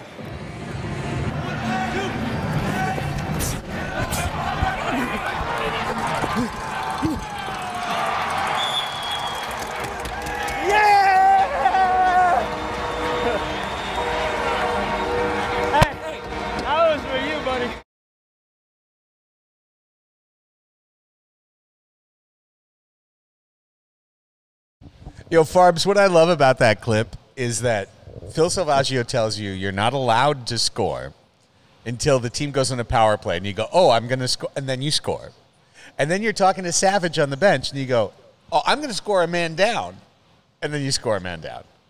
Yeah, I think at that time, like, uh, man down was like a, a pride thing for me. Is like, we had the best no goal patrol in the league, and I got to be the point of it for a long time. And uh, you know, getting goals in that situation was always fun. It was kind of rare, but it's always fun. And Diego and I had a little thing going too, so it was always fun to like get the ball to Diego and make my run. He would find me back, and uh, Phil always stopped me from scoring goals. And I was one of the one guys that like the few guys that always listened to me. Be like, no more goals. Like whoever we're playing against, and we're up by five, seven, eight goals in the fourth quarter, he'd say, no more goals. Do you remember this? Nobody's allowed to score except for Craig. Nobody's allowed to score except for That Craig. is So right. I'm like, That is cool. right. I guess I'll just try to get assists. To I Craig. barely speak English, and I and I was like, no more goals. And I'm like, wait, what? What is that? Like, No, he said Moss goals. oh, oh, más goals. yeah, I was like translating. Okay, more. Demasiado more, more. goles. Más, más goles, más goles. No, demasiado goles. so Phil would shut that one. He would control that one a little bit, and I'd always do whatever Phil said. But when he'd say, you know, you can score on man down, then that was my chance. What I think also happened in that game was during the third quarter of the frisbee toss. I think it was this game because I was mic'd up for that game. Unless I was mic'd up another time, I don't remember. I think you were, yeah. Well, a frisbee landed right next to me, and Medina hands it to me and goes, "Here, dude, throw it." And I was like, "Cool," and I threw it, and it went straight into the bucket. And You I don't go, even "Dude, know how to throw a frisbee, man. They're not real frisbees. First off, yeah, that's true. It went in the bucket, and it was so super lucky because you know how hard those things are to throw. And I go, dude, Medina, I just made that. And he goes, bro, you just cost Phil like five hundred bucks. I was like, oh no. And I'm like, can we can we wipe that from the from? Incredible. Ending the season, the Sockers uh, had a major milestone, which was to break the biggest major professional streak in the country. That was the Los Angeles Lakers, who had won 33 consecutive games. The regular season finale was a chance for San Diego to win 34 consecutive games. You guys did it with a 9 4 win over Tacoma, but I wanted to bring this game up. It was the last game of the season because when I went back to my notes, I was pretty surprised. The Stars went to sixth attacker to start the game. The entire game. The That entire game, not to score, but to play keep away from you guys, to try and do a four corners offense, to take the air out of the ball, to possess like Barca, I guess, and just keep away, keep away. And actually, it worked. They were up one nothing five minutes into the second quarter. They shut you guys out for 20 minutes until you finally broke it. And Eddie, you had a hat trick in that game Oh, as really? the Sockers won nine to four mm. To to get that you know to get the 34th win to break the Lakers streak to have the second longest winning streak in the history of U.S. professional sports. Uh, starting with you, Eddie, but for the panel, what do you remember about that game? I, I, I, I, I'll be honest with you, Craig and guys. I don't remember the hat trick. uh, I remember that that game, the first and second quarter, it was really frustrating because they really caught us a little bit of off guard. Uh, we were not expecting them to come with the six attacker. The six attacker wasn't even that good. He was not even attacking.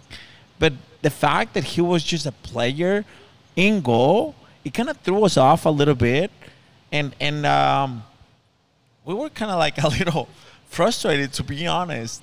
And and uh, it took us a lot of time to score, dude. Like, in order to have us like shut down for the first quarter, not scoring any goals, and then the first goal to be scored on the second uh, quarter, that was a little like well thought, I can say, or well planned.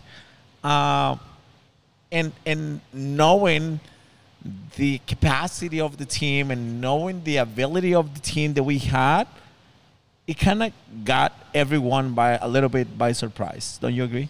Yeah, I mean, I was on the bench that game, um, sitting next to Phil, where I always stood on the bench. But anyways, um, you know, when you go six attacker that early, um, you know, I've played in a game uh, against Milwaukee before where they've done it very early on.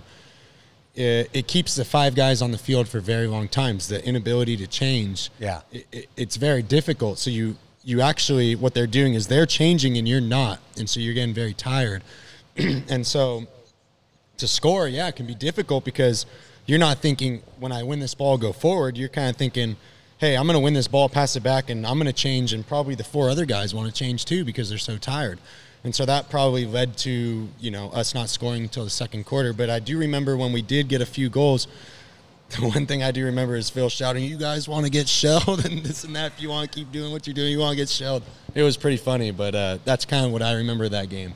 Uh, I remember a conversation at halftime briefly that was like, we had done this in Stockton in the past. Remember when we were losing games really early right. on? And that was MISL days. Yeah, yeah, yeah. MISL days against like Baltimore, and Milwaukee, where we were all of a sudden like, we're going six attacker, throw in in the towel, or this is gonna work, and it it was always um, shock, and then there was adjustments, and I remember this was probably with the very first time where I was like, Susi and Phil and I were in a conversation. I was like, we need to make adjustments right now. Like now is our chance. It's halftime.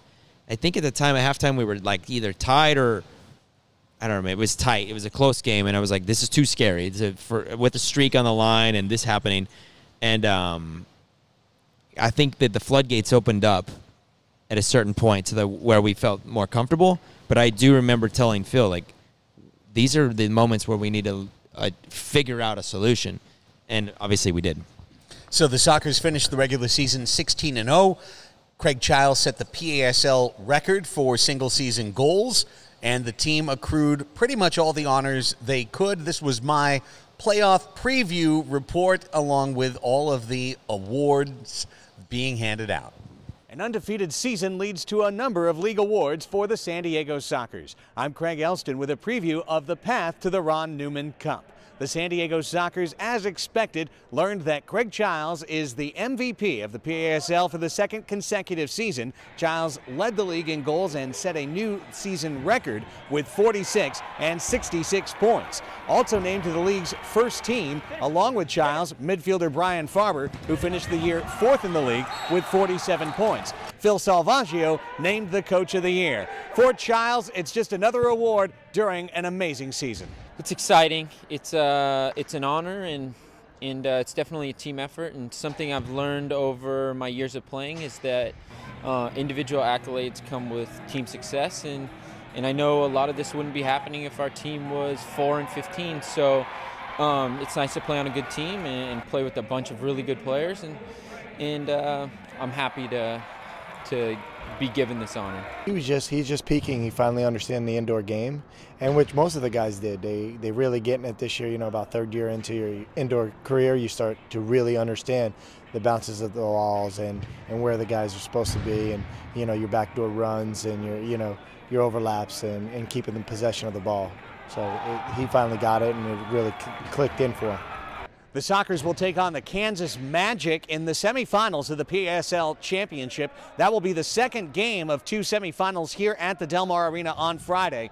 Detroit Waza will take on Revolucion Tijuana in the 5 o'clock early semifinal. The championship, where the Ron Newman Cup will be awarded for the first time, will be Saturday at 7 p.m. All the games available to be viewed right here on 619sports.net.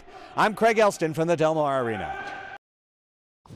So on to the playoffs we went, guys, and the PASL. This was the first. The North American Championship format was gone. This was a PASL playoff tournament. So we'd have four, the four best PASL teams come to Del Mar.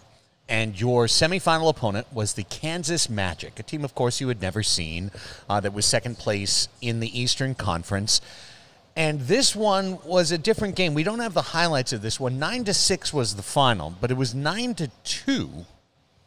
And then the Kansas Magic got four goals and a lot more. And in my game story on 619 Sports, Chris, I noted that Riley Swift had 20 saves and stopped multiple breakaways in the fourth quarter. Uh, this seems to be one of those classic games for San Diego where you bring in an unknown opponent and find a way to win, but there's some danger and some drama along the way.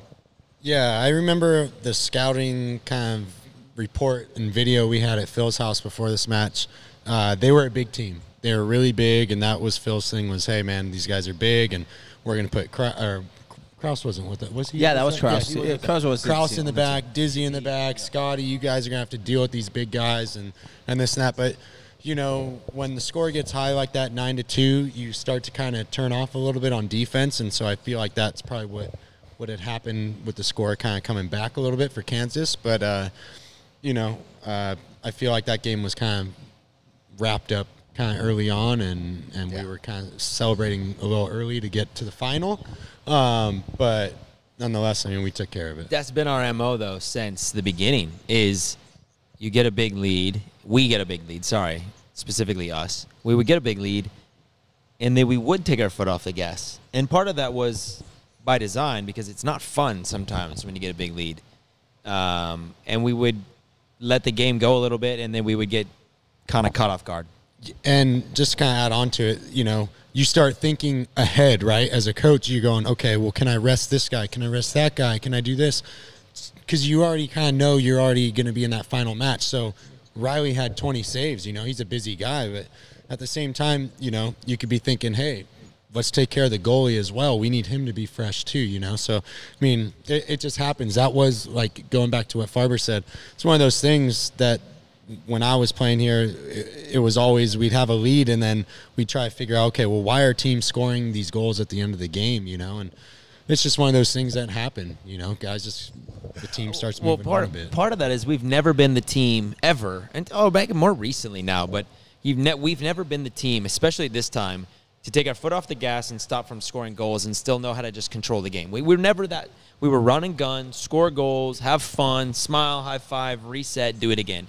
And it, when it came time to like stop that, it ended up becoming uh, a, a weakness in our game, whether that was just maintaining possession and stringing together 20 passes in a row and holding the ball for two minutes straight and burning the clock down. We don't like to do that. Nobody had fun doing that, and so we ended up uh, getting caught. So I have a quote from you from this game. Uh, and I'm just going to read from my 619 Sports story at the time because it's going to lead to another thing that happened in this game that you guys probably already all forgot about. I forgot about it. So, uh, all PASL midfielder Brian Farber said, quote, the clock couldn't move fast enough toward the end there. I don't know what we were doing. The game plan fell apart. Everyone was panicked and doing the wrong thing. And finally, we were grouped a little bit. And then, Farber said, pointing toward the wall in front of the Sockers' bench, this fiasco. This fiasco was a rhubarb instigated by a bull rushing goalie, ending with a classic baseball style mini mosh pit hold me back affair. With 22 seconds remaining, Kansas goalkeeper Jason Jacob was trying to clear the field and make way for a sixth attacker, but in doing so, he plowed through the back of Zay Roberto. In the ensuing non melee, Sockers' midfielder Miguel Adarado was red carded for being the third man in right. and would miss the finals, uh, according right. to PASL So. Commissioner Kevin Milliken. You talk about being the most um, out of character moment I've ever seen in my life. That is the opposite of Miguel. I don't know if he got like what happened there, but he got riled up and just went, went crazy. Dude, that's not his style. He would never what do I'm that saying, again. right? Miguel was one of the guys that it was like, like I said that earlier, like he's so like, boom, one He mood. kept to himself quiet. Yes, yeah. every time, every single time, and the fact that that happened in that game, I was like, wait, what happened? And now that you mention, I was like, I literally totally forgot about it too.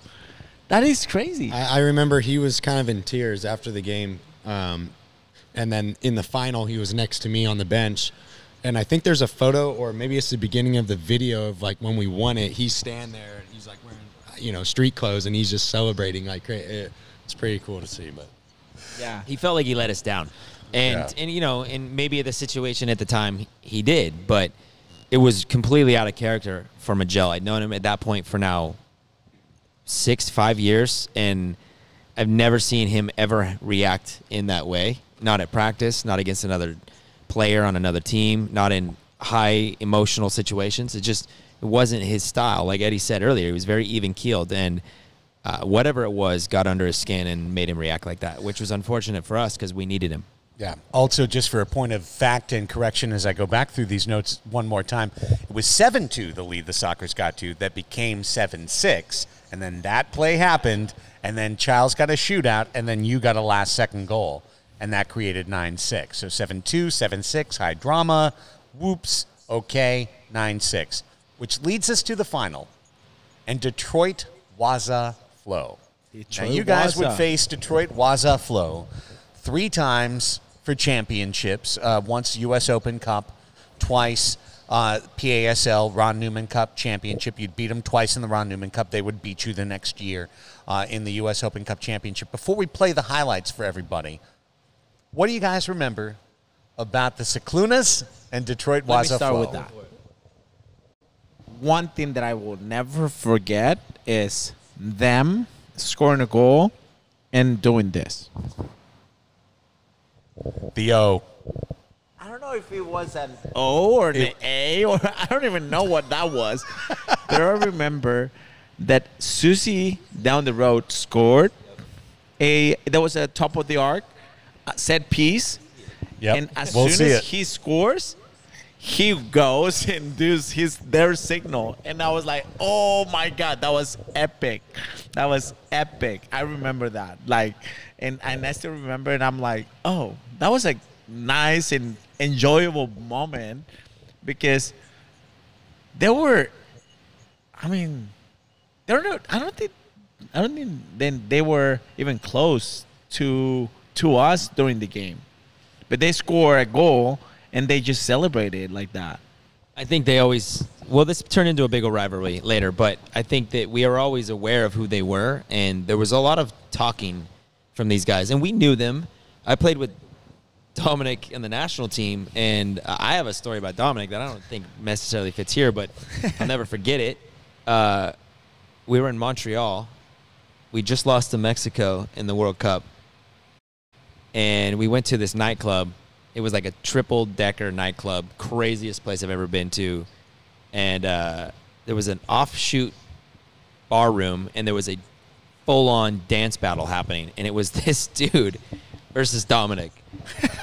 and dude, he had the long hair, and the- Yeah. it- dude, he won the dance battle, and the dude literally bowed to him and gave him credit in front of like 300 people, and I was like, "That's my teammate." I was dude, it's crazy. I've never seen like it. Full dance battle. Yeah, Craig, correct me if I'm wrong, but I'm pretty sure didn't Dominic do the halftime show in that game? He He abs- did. 100% did. Okay, He so 100% that adds up. did. Um, but what I remember about that game, uh, for sure that that took place, and I Yes. I think that that rubbed our team the wrong way, and Yes. and Susi kind of dealt with that, and it, you know I think he did a good job of doing that. But anyways, um, there were also a few players on their team uh, that I that I think won awards. I think Joey Capinos was the goalie at the time, and I think he, if I'm not mistaken, was goalie of the year.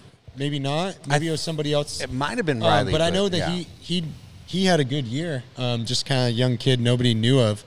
Um, Samson. and, and they also had they had some really good players that They- big. they had Costa Samson Deku, from Detroit, Nicky Turisilo. Ryan Mack. Like, I think they were the best team on the East at the time. Yes. and so you know it was it was kind of there was some heat, you know, in that game. But uh, I, I did they go up 1-0 with that goal? They, so let me tell you what happened because I've got the, and then we'll play the highlights. yeah. They didn't go up one nothing. They went up two nothing. They scored right away to go up one nothing. They scored later to go up two nothing. They shut you out in the first quarter, and then it was the O was made by the goalkeeper Daryl Quinn. That's right. And it came after Chiles, who was back from being hurt, had a shootout, and Quinn stopped it. Quinn stopped the shootout, and he put his hands up oh, in the O. Yeah. Okay, so I was mistaken. Capinos was the next season. Yes, he the next year. The That's next year right. he was. Now I do remember A- and that's what i- i- in my story that riled everybody up, and they said, "You don't do that. You don't do that in our house." And then, exactly as you guys do remember it, Susi had a a, a shootout, a goal. He put up the O. Everyone went crazy, and the Sockers ruled. And now adding into that, into the next episode, next final, the goalie is the one that becomes a forward in the U.S. Open Open final, and He we're getting to that. popped. No, no, no, we're getting to that. Yeah, the next, time. one. We'll do that next time. Let's bring you the highlights now. This is the Sockers' third straight PASL championship from Del Mar Arena. This was the last game at Del Mar Arena. Here are the highlights. a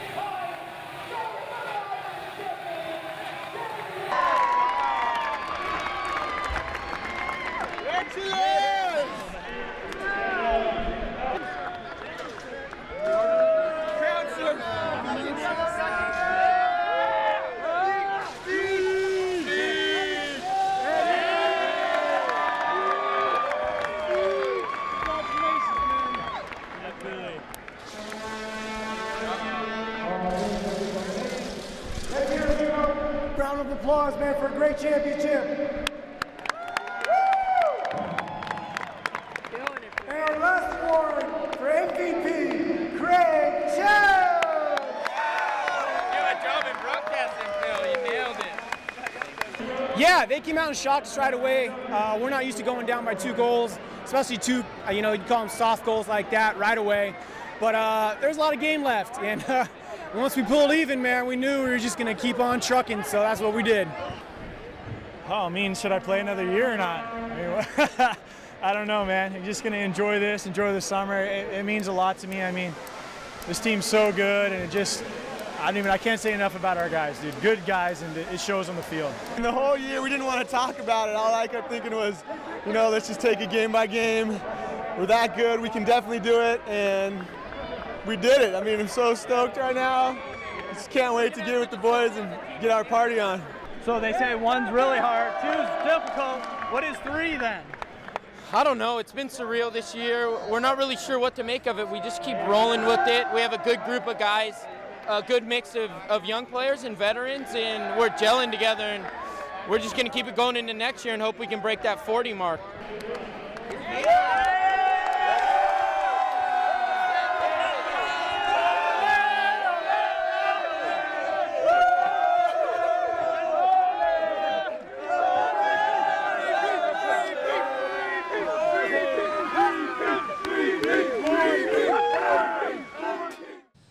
The Sockers three-time champions in the PASL and wrapping up to that point a perfect season. One game left to go. But let's talk about the final, guys. And one player that we really haven't talked about a lot over three panels so far, and I feel like we're remiss in doing so, is Dizzy Dan, Dizzy Dollars, Dan Antoniuk, because he was uh, a, not only a critical, important player on this team, a forward by style who would play defense for San Diego and wouldn't necessarily do that the rest of his career, outdoors uh, or indoors, but he not only brought a physicality to this team, not only brought a talent, but he brought a different personality. That that little special thing. The, the, exactly the Dizzy Dollars magic that that only he uh, could bring. What, what are you guys' memories of, of Dizzy Dollars? Start that one. I can start with that. I, I met Dizzy Dollars in 2004. He was one of the uh, players that it was signed with the San Diego Sockers when I signed in 2004. I never got to play uh, with the San Diego Sockers at that uh, time, but he was part of the team, and he was always, always super quiet. And I remember, and now that you mention it, he only played defense for San Diego. He went. He played for New Jersey Ironmen. He played forward. He played for. Who else he played for in my MISL? Uh, Orlando. No, he played Tacoma. He played Tacoma. Kinda feel like Philly, He but played maybe Tacoma not, yeah. and, Played for and- St. and he- Louis. He, played for San Luis. He he played forward, and the only team that I've seen him play defense for, it's San Diego. Uh, I have a funny story about Dizzy Dollars. Um, that was my first year too uh, with the team, and we met obviously before. Uh, he met my daughters, and I don't even know where he got these two books, like, like, uh, coloring books. And he was like, "Hey Eddie, I got something for you. You know this, you know, got something for you, my man." And I'm like, "Wait, what? Like, yeah, yeah, yeah. Well, it's not for you, man. I hope you don't like, you know, like." And I'm like, "Oh, okay, cool. Like, what's up, Dizzy?" He's like, "Here's, man. Like, this is for your daughters. Like, Dizzy dollars. Like, still my man, man. Uh, he was like thinking he he remembered my daughters at that moment, and and there's something that obviously it's it's special for me, obviously. Yeah, uh, Dizzy on the field was a monster. You know, he was uh, considered one of the Bash Bros. You know, that Yes. was one of the that was Thank one of the you. yeah Bash one of the Bros. one of the funnest things we would do before the game is Phil would introduce the lines like you know and That is right. I don't know if they still do that, That to this day, right. but that was so much fun and and when that happened, I mean everybody I. You just want to play, but Medina would like pace back and forth. As soon as he would start doing his hair, like it was, it was so fun. And Dizzy and Scotty right. would get up like dogs, "Arr, arr," like start barking, and the Bash Bros. Or but, um, anyways, that was so much fun. Um, but Dizzy on the field, he was he was great, man. I mean, he had so much knowledge of the game, um, and also just his physical attributes that he that he had for the team. You know, just his size. Um, he was a, he was actually a really technical player as well. Um, good passer of the ball. He could obviously finish because he played forward. Um, and then him transitioning to the back was was pretty easy for him. And it was something that the team I think needed then, and he did an excellent job. Um, you know, I'm still in touch with Dizzy to this day. Um, but one of the funniest stories, just off the field, that that I have of Dizzy is uh, uh, when I was living with Nick Pereira and Mike uh, at Nick's place in San Marcos here. But uh, Dizzy had just drove from I, don't know. He was playing outdoor somewhere, Atlanta. Um, he had just drove and he had this little purple car. He called it the. the It's a Maxima. It was a he called- Maxima. yeah, yeah, he called it the hoopty or whatever. But anyways, we we had a uh, Halloween party, and I remember this car rolling up. and I'm outside just hanging out, and I'm I'm looking around like, who is that? And I just see this big tall guy get out, and he goes into his trunk. And I see like this costume, and he starts putting on his costume. I go over, Dizzy. He goes, "Yeah, what's up, man?" I'm like, what are you doing? He's like, oh, I heard there was a party, and uh, I'm in town for the soccer. And he puts on this whole gladiator suit and pulls out his blow up mattress, sets up all his stuff, and then he like joined the party. It was pretty hilarious. Like, it, it's funny telling, but being there was was something crazy. But Dizzy, one one of the best guys indoor Yeah. soccer era, like Yeah. recent, he was amazing guy. I think it just goes back to like you look at the entire roster, and you could you could say any name on the on the roster of this particular team, and have multiple stories coming from different angles, which would be either humorous, uh, about their game, about them as a teammate, and their loyalty to our group. But ultimately, they all kind of come back to like the family atmosphere that we created. And Dizzy was a huge part of that. His personality was almost bigger than his game, and his game was good. I mean, like we said, he was huge for our team. I remember Dizzy playing in the Atlanta Silverbacks when I was with Minnesota and he had a game against us. We lost 3 2, and he had two goals, and Michelle Millwood had a goal, and I had a goal against him. And I remember after the game talking with him, um, and we got to know each other a little bit. And then we got to be on the Sockers together, and I'm like, bro, what's up? So it was like a, it was a, you know, it's a small connected community in this world. And when you get to like play with somebody that you've played against and you respect, and now all of a sudden you're on the same team, it's instantly there. And Dizzy had that where practice was consistent. He was always there. He was never hurt. Um, I think sometimes his priorities were uh, maybe Yeah. not necessarily set, but Maybe not. That's just Yeah. Dizzy, right? And, Yeah. and we, you can say things and be like, "That's just Dizzy," and everybody will know exactly what you're talking about. But he was just like any of us. He was part of the family, and um, he was another reason why we were on this streak. And he, maybe his name wasn't mentioned enough throughout tonight for sure, but he was definitely a huge part of it. I love it, guys. I love those memories of Dizzy Dollars, the best freestyle rapper. That was a freestyle. I was just about to yes, I was gonna that in there, mention that. Dizzy's got the flows. That's how he got the Dallas as the name. My man, my man, Dizzy Dollars, one of the true characters of the San Diego Sockers. So, the Sockers had a perfect PASL season, FIFA champions, Ron Newman Cup champions. And Let's just talk about that very briefly because Ron Newman made his final appearance in San Diego in that season. It was much earlier in the year, but when it was announced that it would be the Ron Newman Cup, to this day, we play for the Ron Newman Cup. That was the last time you guys were in the same physical space as the greatest indoor soccer coach of all that time. was You the had one Second to more- last time. Second to last. Florida. Florida. Florida. He, Florida. he made an appearance. He came to. Florida yeah. game. Yeah, yeah. So we had him in our locker room, and we got to have that moment with him, and then we got to spend some time with him in Florida prior to playing against Tropics uh, on the road, and that was another moment that was pretty cool. incredible stuff. So you, you guys honored Ron Newman. You won the championship. But there was one left, and you weren't going to win the iPads unless you went to Cincinnati and got a championship in the U.S. Open Cup. I remember going into this game thinking that they they had been a good team, but nothing was going to stop us. That's that was my perspective. Nothing was going to stop us. We were not going to lose this game. It didn't matter how well they could have their best game ever, and we were going to win. And uh, I think that was the confidence amongst a major part of our group going into the game. Uh, I don't know how you guys felt. that was every game. I mean, that's just how this group operated then. Um, that was the mentality was this next game, and, and you could just feel it. You could see it on everybody's face. Uh, the energy was there. It was just win. Yeah. And Susi did a really good job of of speaking to the players and and getting everybody hyped up. If you didn't feel right or something, like his words would lift you. Um, and so every game this season and even part of the next season, uh, even the season before when we went on the run to win it, uh, that that energy was there. And every time we stepped onto the field, we we knew we were going to win the game. It was on St. Patrick's Day. It became, I, as I wrote in my story, from St. Patty's Day to St. I Patty's Day. the highlights from Cincinnati.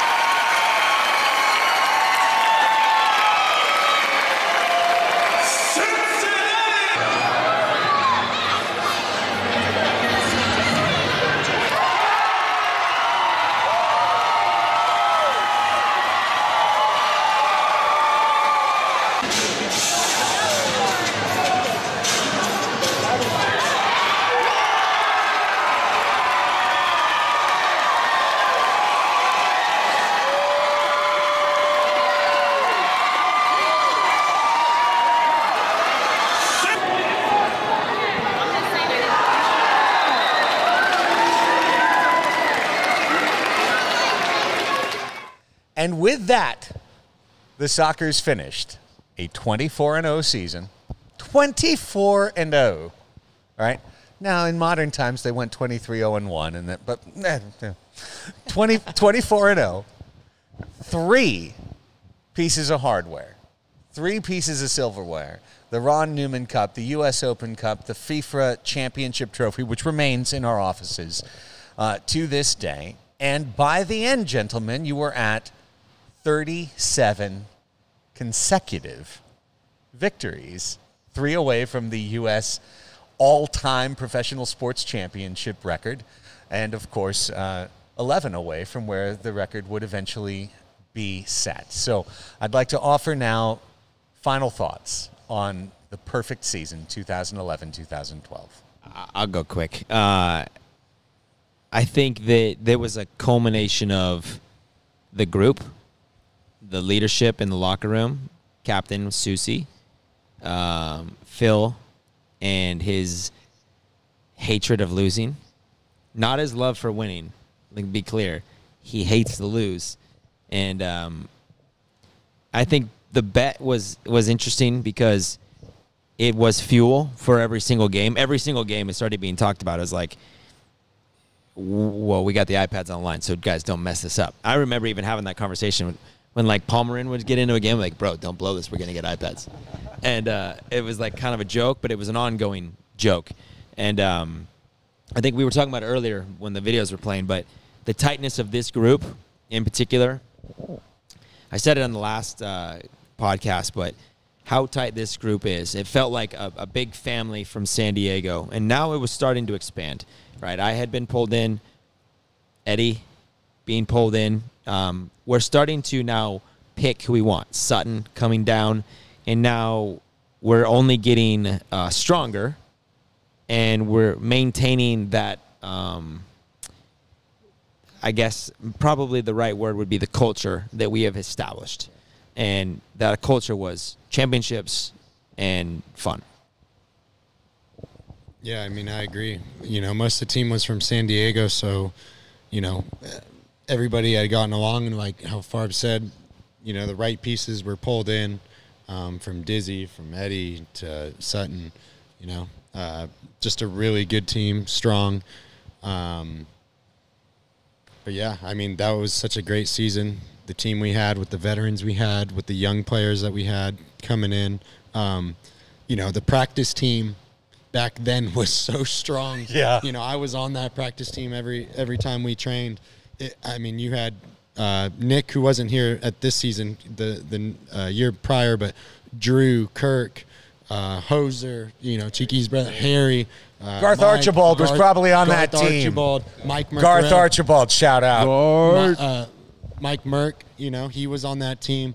You know, I, I just remember, you know, since we're talking about second team, is a lot of the first team players would want to play with the second team when we go to Vegas and play the champ. I believe this was the season we did win the uh, Yeah. the the championship in Vegas. Yeah. um, we did win that. So shout out to Alex Monar because I know he's still proud of that for the fusion.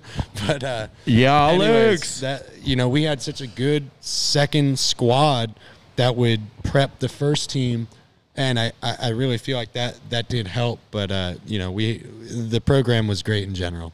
Unbelievable. And Eddie, for you to finish your first year as an American professional athlete and to do so with three championships, a perfect season, how'd that wrap up for you? This was the uh, first time ever that I experienced a locker room that it was so tight, that it was a locker room, that it was a family on and off the field. There was no players that were they were going on a different route. We all like either go to breakfast together, we go to lunch together.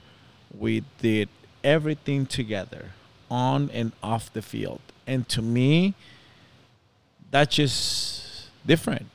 That's just different. And and and you can see the results, right? You can see the results. Um, winning three championships on my first year. Now that you mention it, after 11 years playing for this franchise, I'm like, holy Shintos. this is something special, and and uh, dude, it was just like it's a family, it's a family, right? And and and and again, it's like I mean, Chris said that, Farber mentioned that too. It's a combination of a lot of factors. Phil Salvagio, first putting all this together. Aaron Susi leading us every single game and giving us the right hype Yeah. speech before the game and getting us on getting us on the right track uh, and everyone trying to put their little like grain of to to the team Yeah. it, it was just amazing Well, guys, uh, speaking of amazing, this has been an amazing night of memories and of fun. Uh, we've shared some stories that maybe haven't been told before and some stories that should never be told again. And it's uh, incredible to have you all here. I want to say thanks once again. Yeah, Hold on, Eddie. before we finish, is this the year when we drove to Arizona and on the way back I thought we I forgot got out of this whole someone show without on this the, story. on Were you trying to get out of this? I freeway. thought I made it all the way. Can we I tell this I story? got Was it this the season, though? I thought it was Was the it next- was it this season? Is I it thought this it was the next. I think it's the next season. In my hmm. mind, it's the next season. It's got to be in your notes somewhere. but well, I didn't write about it on 619 sports or Sockers.com. That's for sure. It's in your journal though. Your notes are- no, no, it's notes right here. It's seared in my mind. it is right here. Any life-threatening experience in your life, it, get, you never forget Listen, it. you know? we have to tell it now. So whether it was this season or not, Fine. The story goes, we stopped to use the bathroom on the Yes. on the We- limo we- bus. we went to back. Phoenix. from, on Yeah. the way back eight. from Arizona. We're driving back eight. from Arizona late at night. 3:30 in the morning. Multiple beverages have been consumed Yes. along the way. after Uh, a win. After of, course- I mean, After of course, a long of dinner. course, we never lost to Arizona ever, uh, and right, like we just stopped on the side of the freeway because everyone had to pee, and I mean everyone. Now at that time, uh, we were in the limo bus, right? We were in, in Phil's limo bus. So the folks in the front of the limo bus get out first, right? And there was sort of a seniority, and I, w- I was in the back. I don't know why I was in the back. I mean, I would guess I was old. Because you love to be in the back. Man. Yeah, well, hey, you know, that's a different story. But uh, back there was Seuss and Chiles and Brian. I was the back in the back. A- And, so everyone piled out of the limo bus. Nobody and I calls was, me Brian. Yeah. It's weird. yeah. And I was literally. Who's Brian? Yeah, Farbs. Farbs. Oh, okay, okay. Farbs is Brian. And uh, I was literally the last guy to get out of the bus. And everyone is on the side of the road pissing. And look, do I have a shy bladder? I mean, maybe. You know, like that might be a part of this story is that I don't necessarily want to line up in, in a kitchen trough in front of all these guys and just take a piss. So I went to the back of the bus. Okay. I went to the back. It was not like a ridge a mile away. It was the back of the bus. No, no, no, no. Hold, on. Did you You jump a fence? fence. You hopped Yeah, that was fence. Vegas. That was Vegas. That was Vegas. Oh, that was Vegas. That, was was Vegas. Vegas. That was- that was a different story. That was Vegas. That was when you landed. Yes, you and rolled sprained my ankle. ankle. Yes, I noticed sprayed my ankle. link fence, like you can see through this. But that's a different story, and we didn't win the title that year, so I don't have to tell it. Vegas, it's on the next season. Let's go. Okay, okay, okay, okay, okay. So I was in the back. I was literally at the very back of the bus because I very specifically remember the brake light. Okay, like I was like pissing in the aura of the brake light. And I am doing my business. Nature is calling. And then Well, everybody else had while already. everyone else was also pee right and maybe finished i was i was peeing and then that warm red light that was illuminating my pee disappeared because the brakes were released because all you assholes had gotten back in the bus as a team because we were as a team and left Well, you, were hiding behind the back of the bus. like, first we of all all- loaded back up. Yeah, Craig, why would you go all the way back? Dude, just, you were just not trying to find my spot You saying that you were you were behind the bus? But I don't think you were behind the bus because I remember I was behind the bus on and like kind of like in behind the bushes. Uh-huh. And I even made it before you. Well, yeah, I was the last one out. You know, maybe a shy bladder. Maybe it took a minute for it to get started. Like, you know, and point being, the light turned off. I went, what? I turned around and I felt the gravel as the bus pulled away from me. Now, we are on the eight in the middle of nowhere. Nowhere. No lights, no exits, nothing. It's also very cold. It was like 50, 60, like it was cold. It was very, very cold. Also, this isn't the iPhone yet, right? You guys were getting your iPad. I probably had some fucking flip phone. Oh my god. I had I probably had some Nextel. I had flip phone. I had Nextel. Okay. That was still in the bus. See how mad he was? I'm still mad. I'm still mad. That was still in the bus, okay? So the bus pulls away. I am running after the bus. You don't know this. You're in the bus, music's playing, you're all having a good time. I am running after the bus. I am screaming. The bus is disappearing in my view. And all I can think is, I have no phone. There is no civilization anywhere near me. I'm probably going to freeze and die out here. Like, like maybe I'll live, maybe I won't.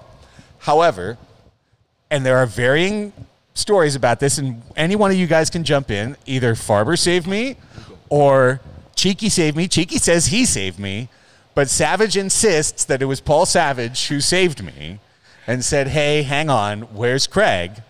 And as I'm running, running, just adrenaline pumping through my body, freaking out, there's like an overpass a quarter mile ahead, and you guys pull over. And I'm just running, running, running, running, running. I get into the bus. I, the doors open. I walk in. Everyone laughs at me. you all laugh at me horribly.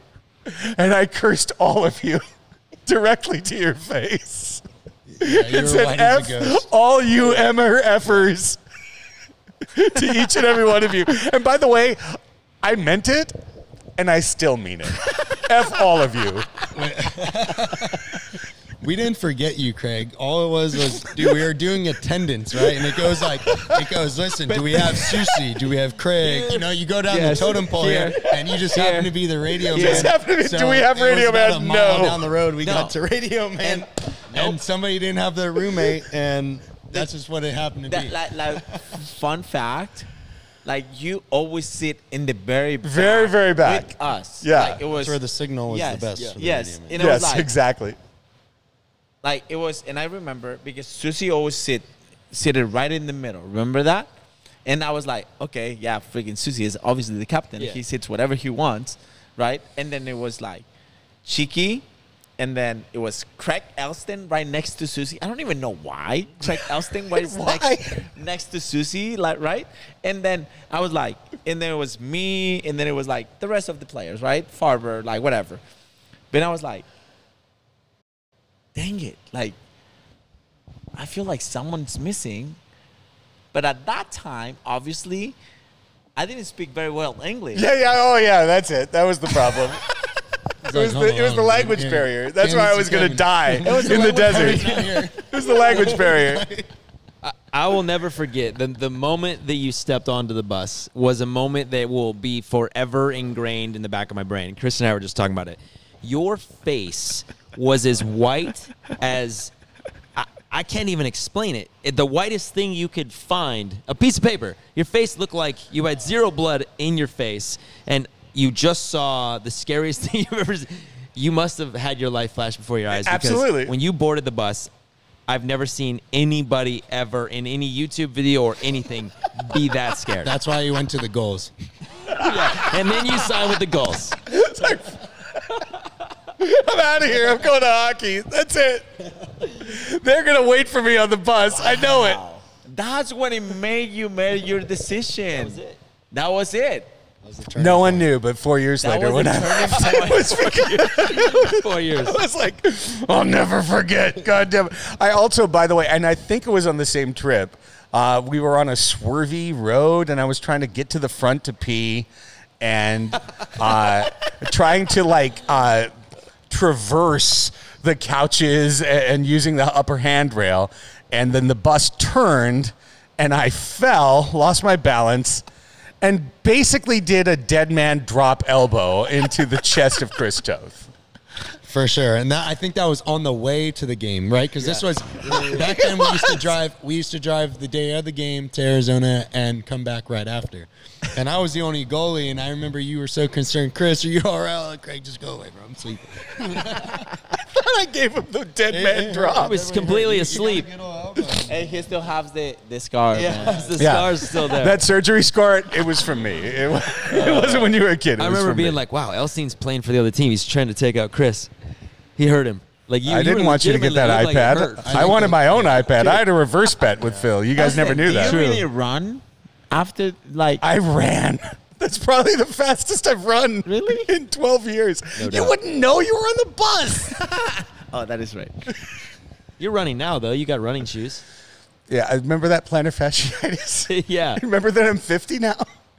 the running Happens. has stopped. Happens I'm playing us. golf. But I digress. Gentlemen, what a great night. Brian Farber, Chris Toth, Eddie Velez. A perfect season, a perfect panel, as far as I'm concerned, a perfect discussion.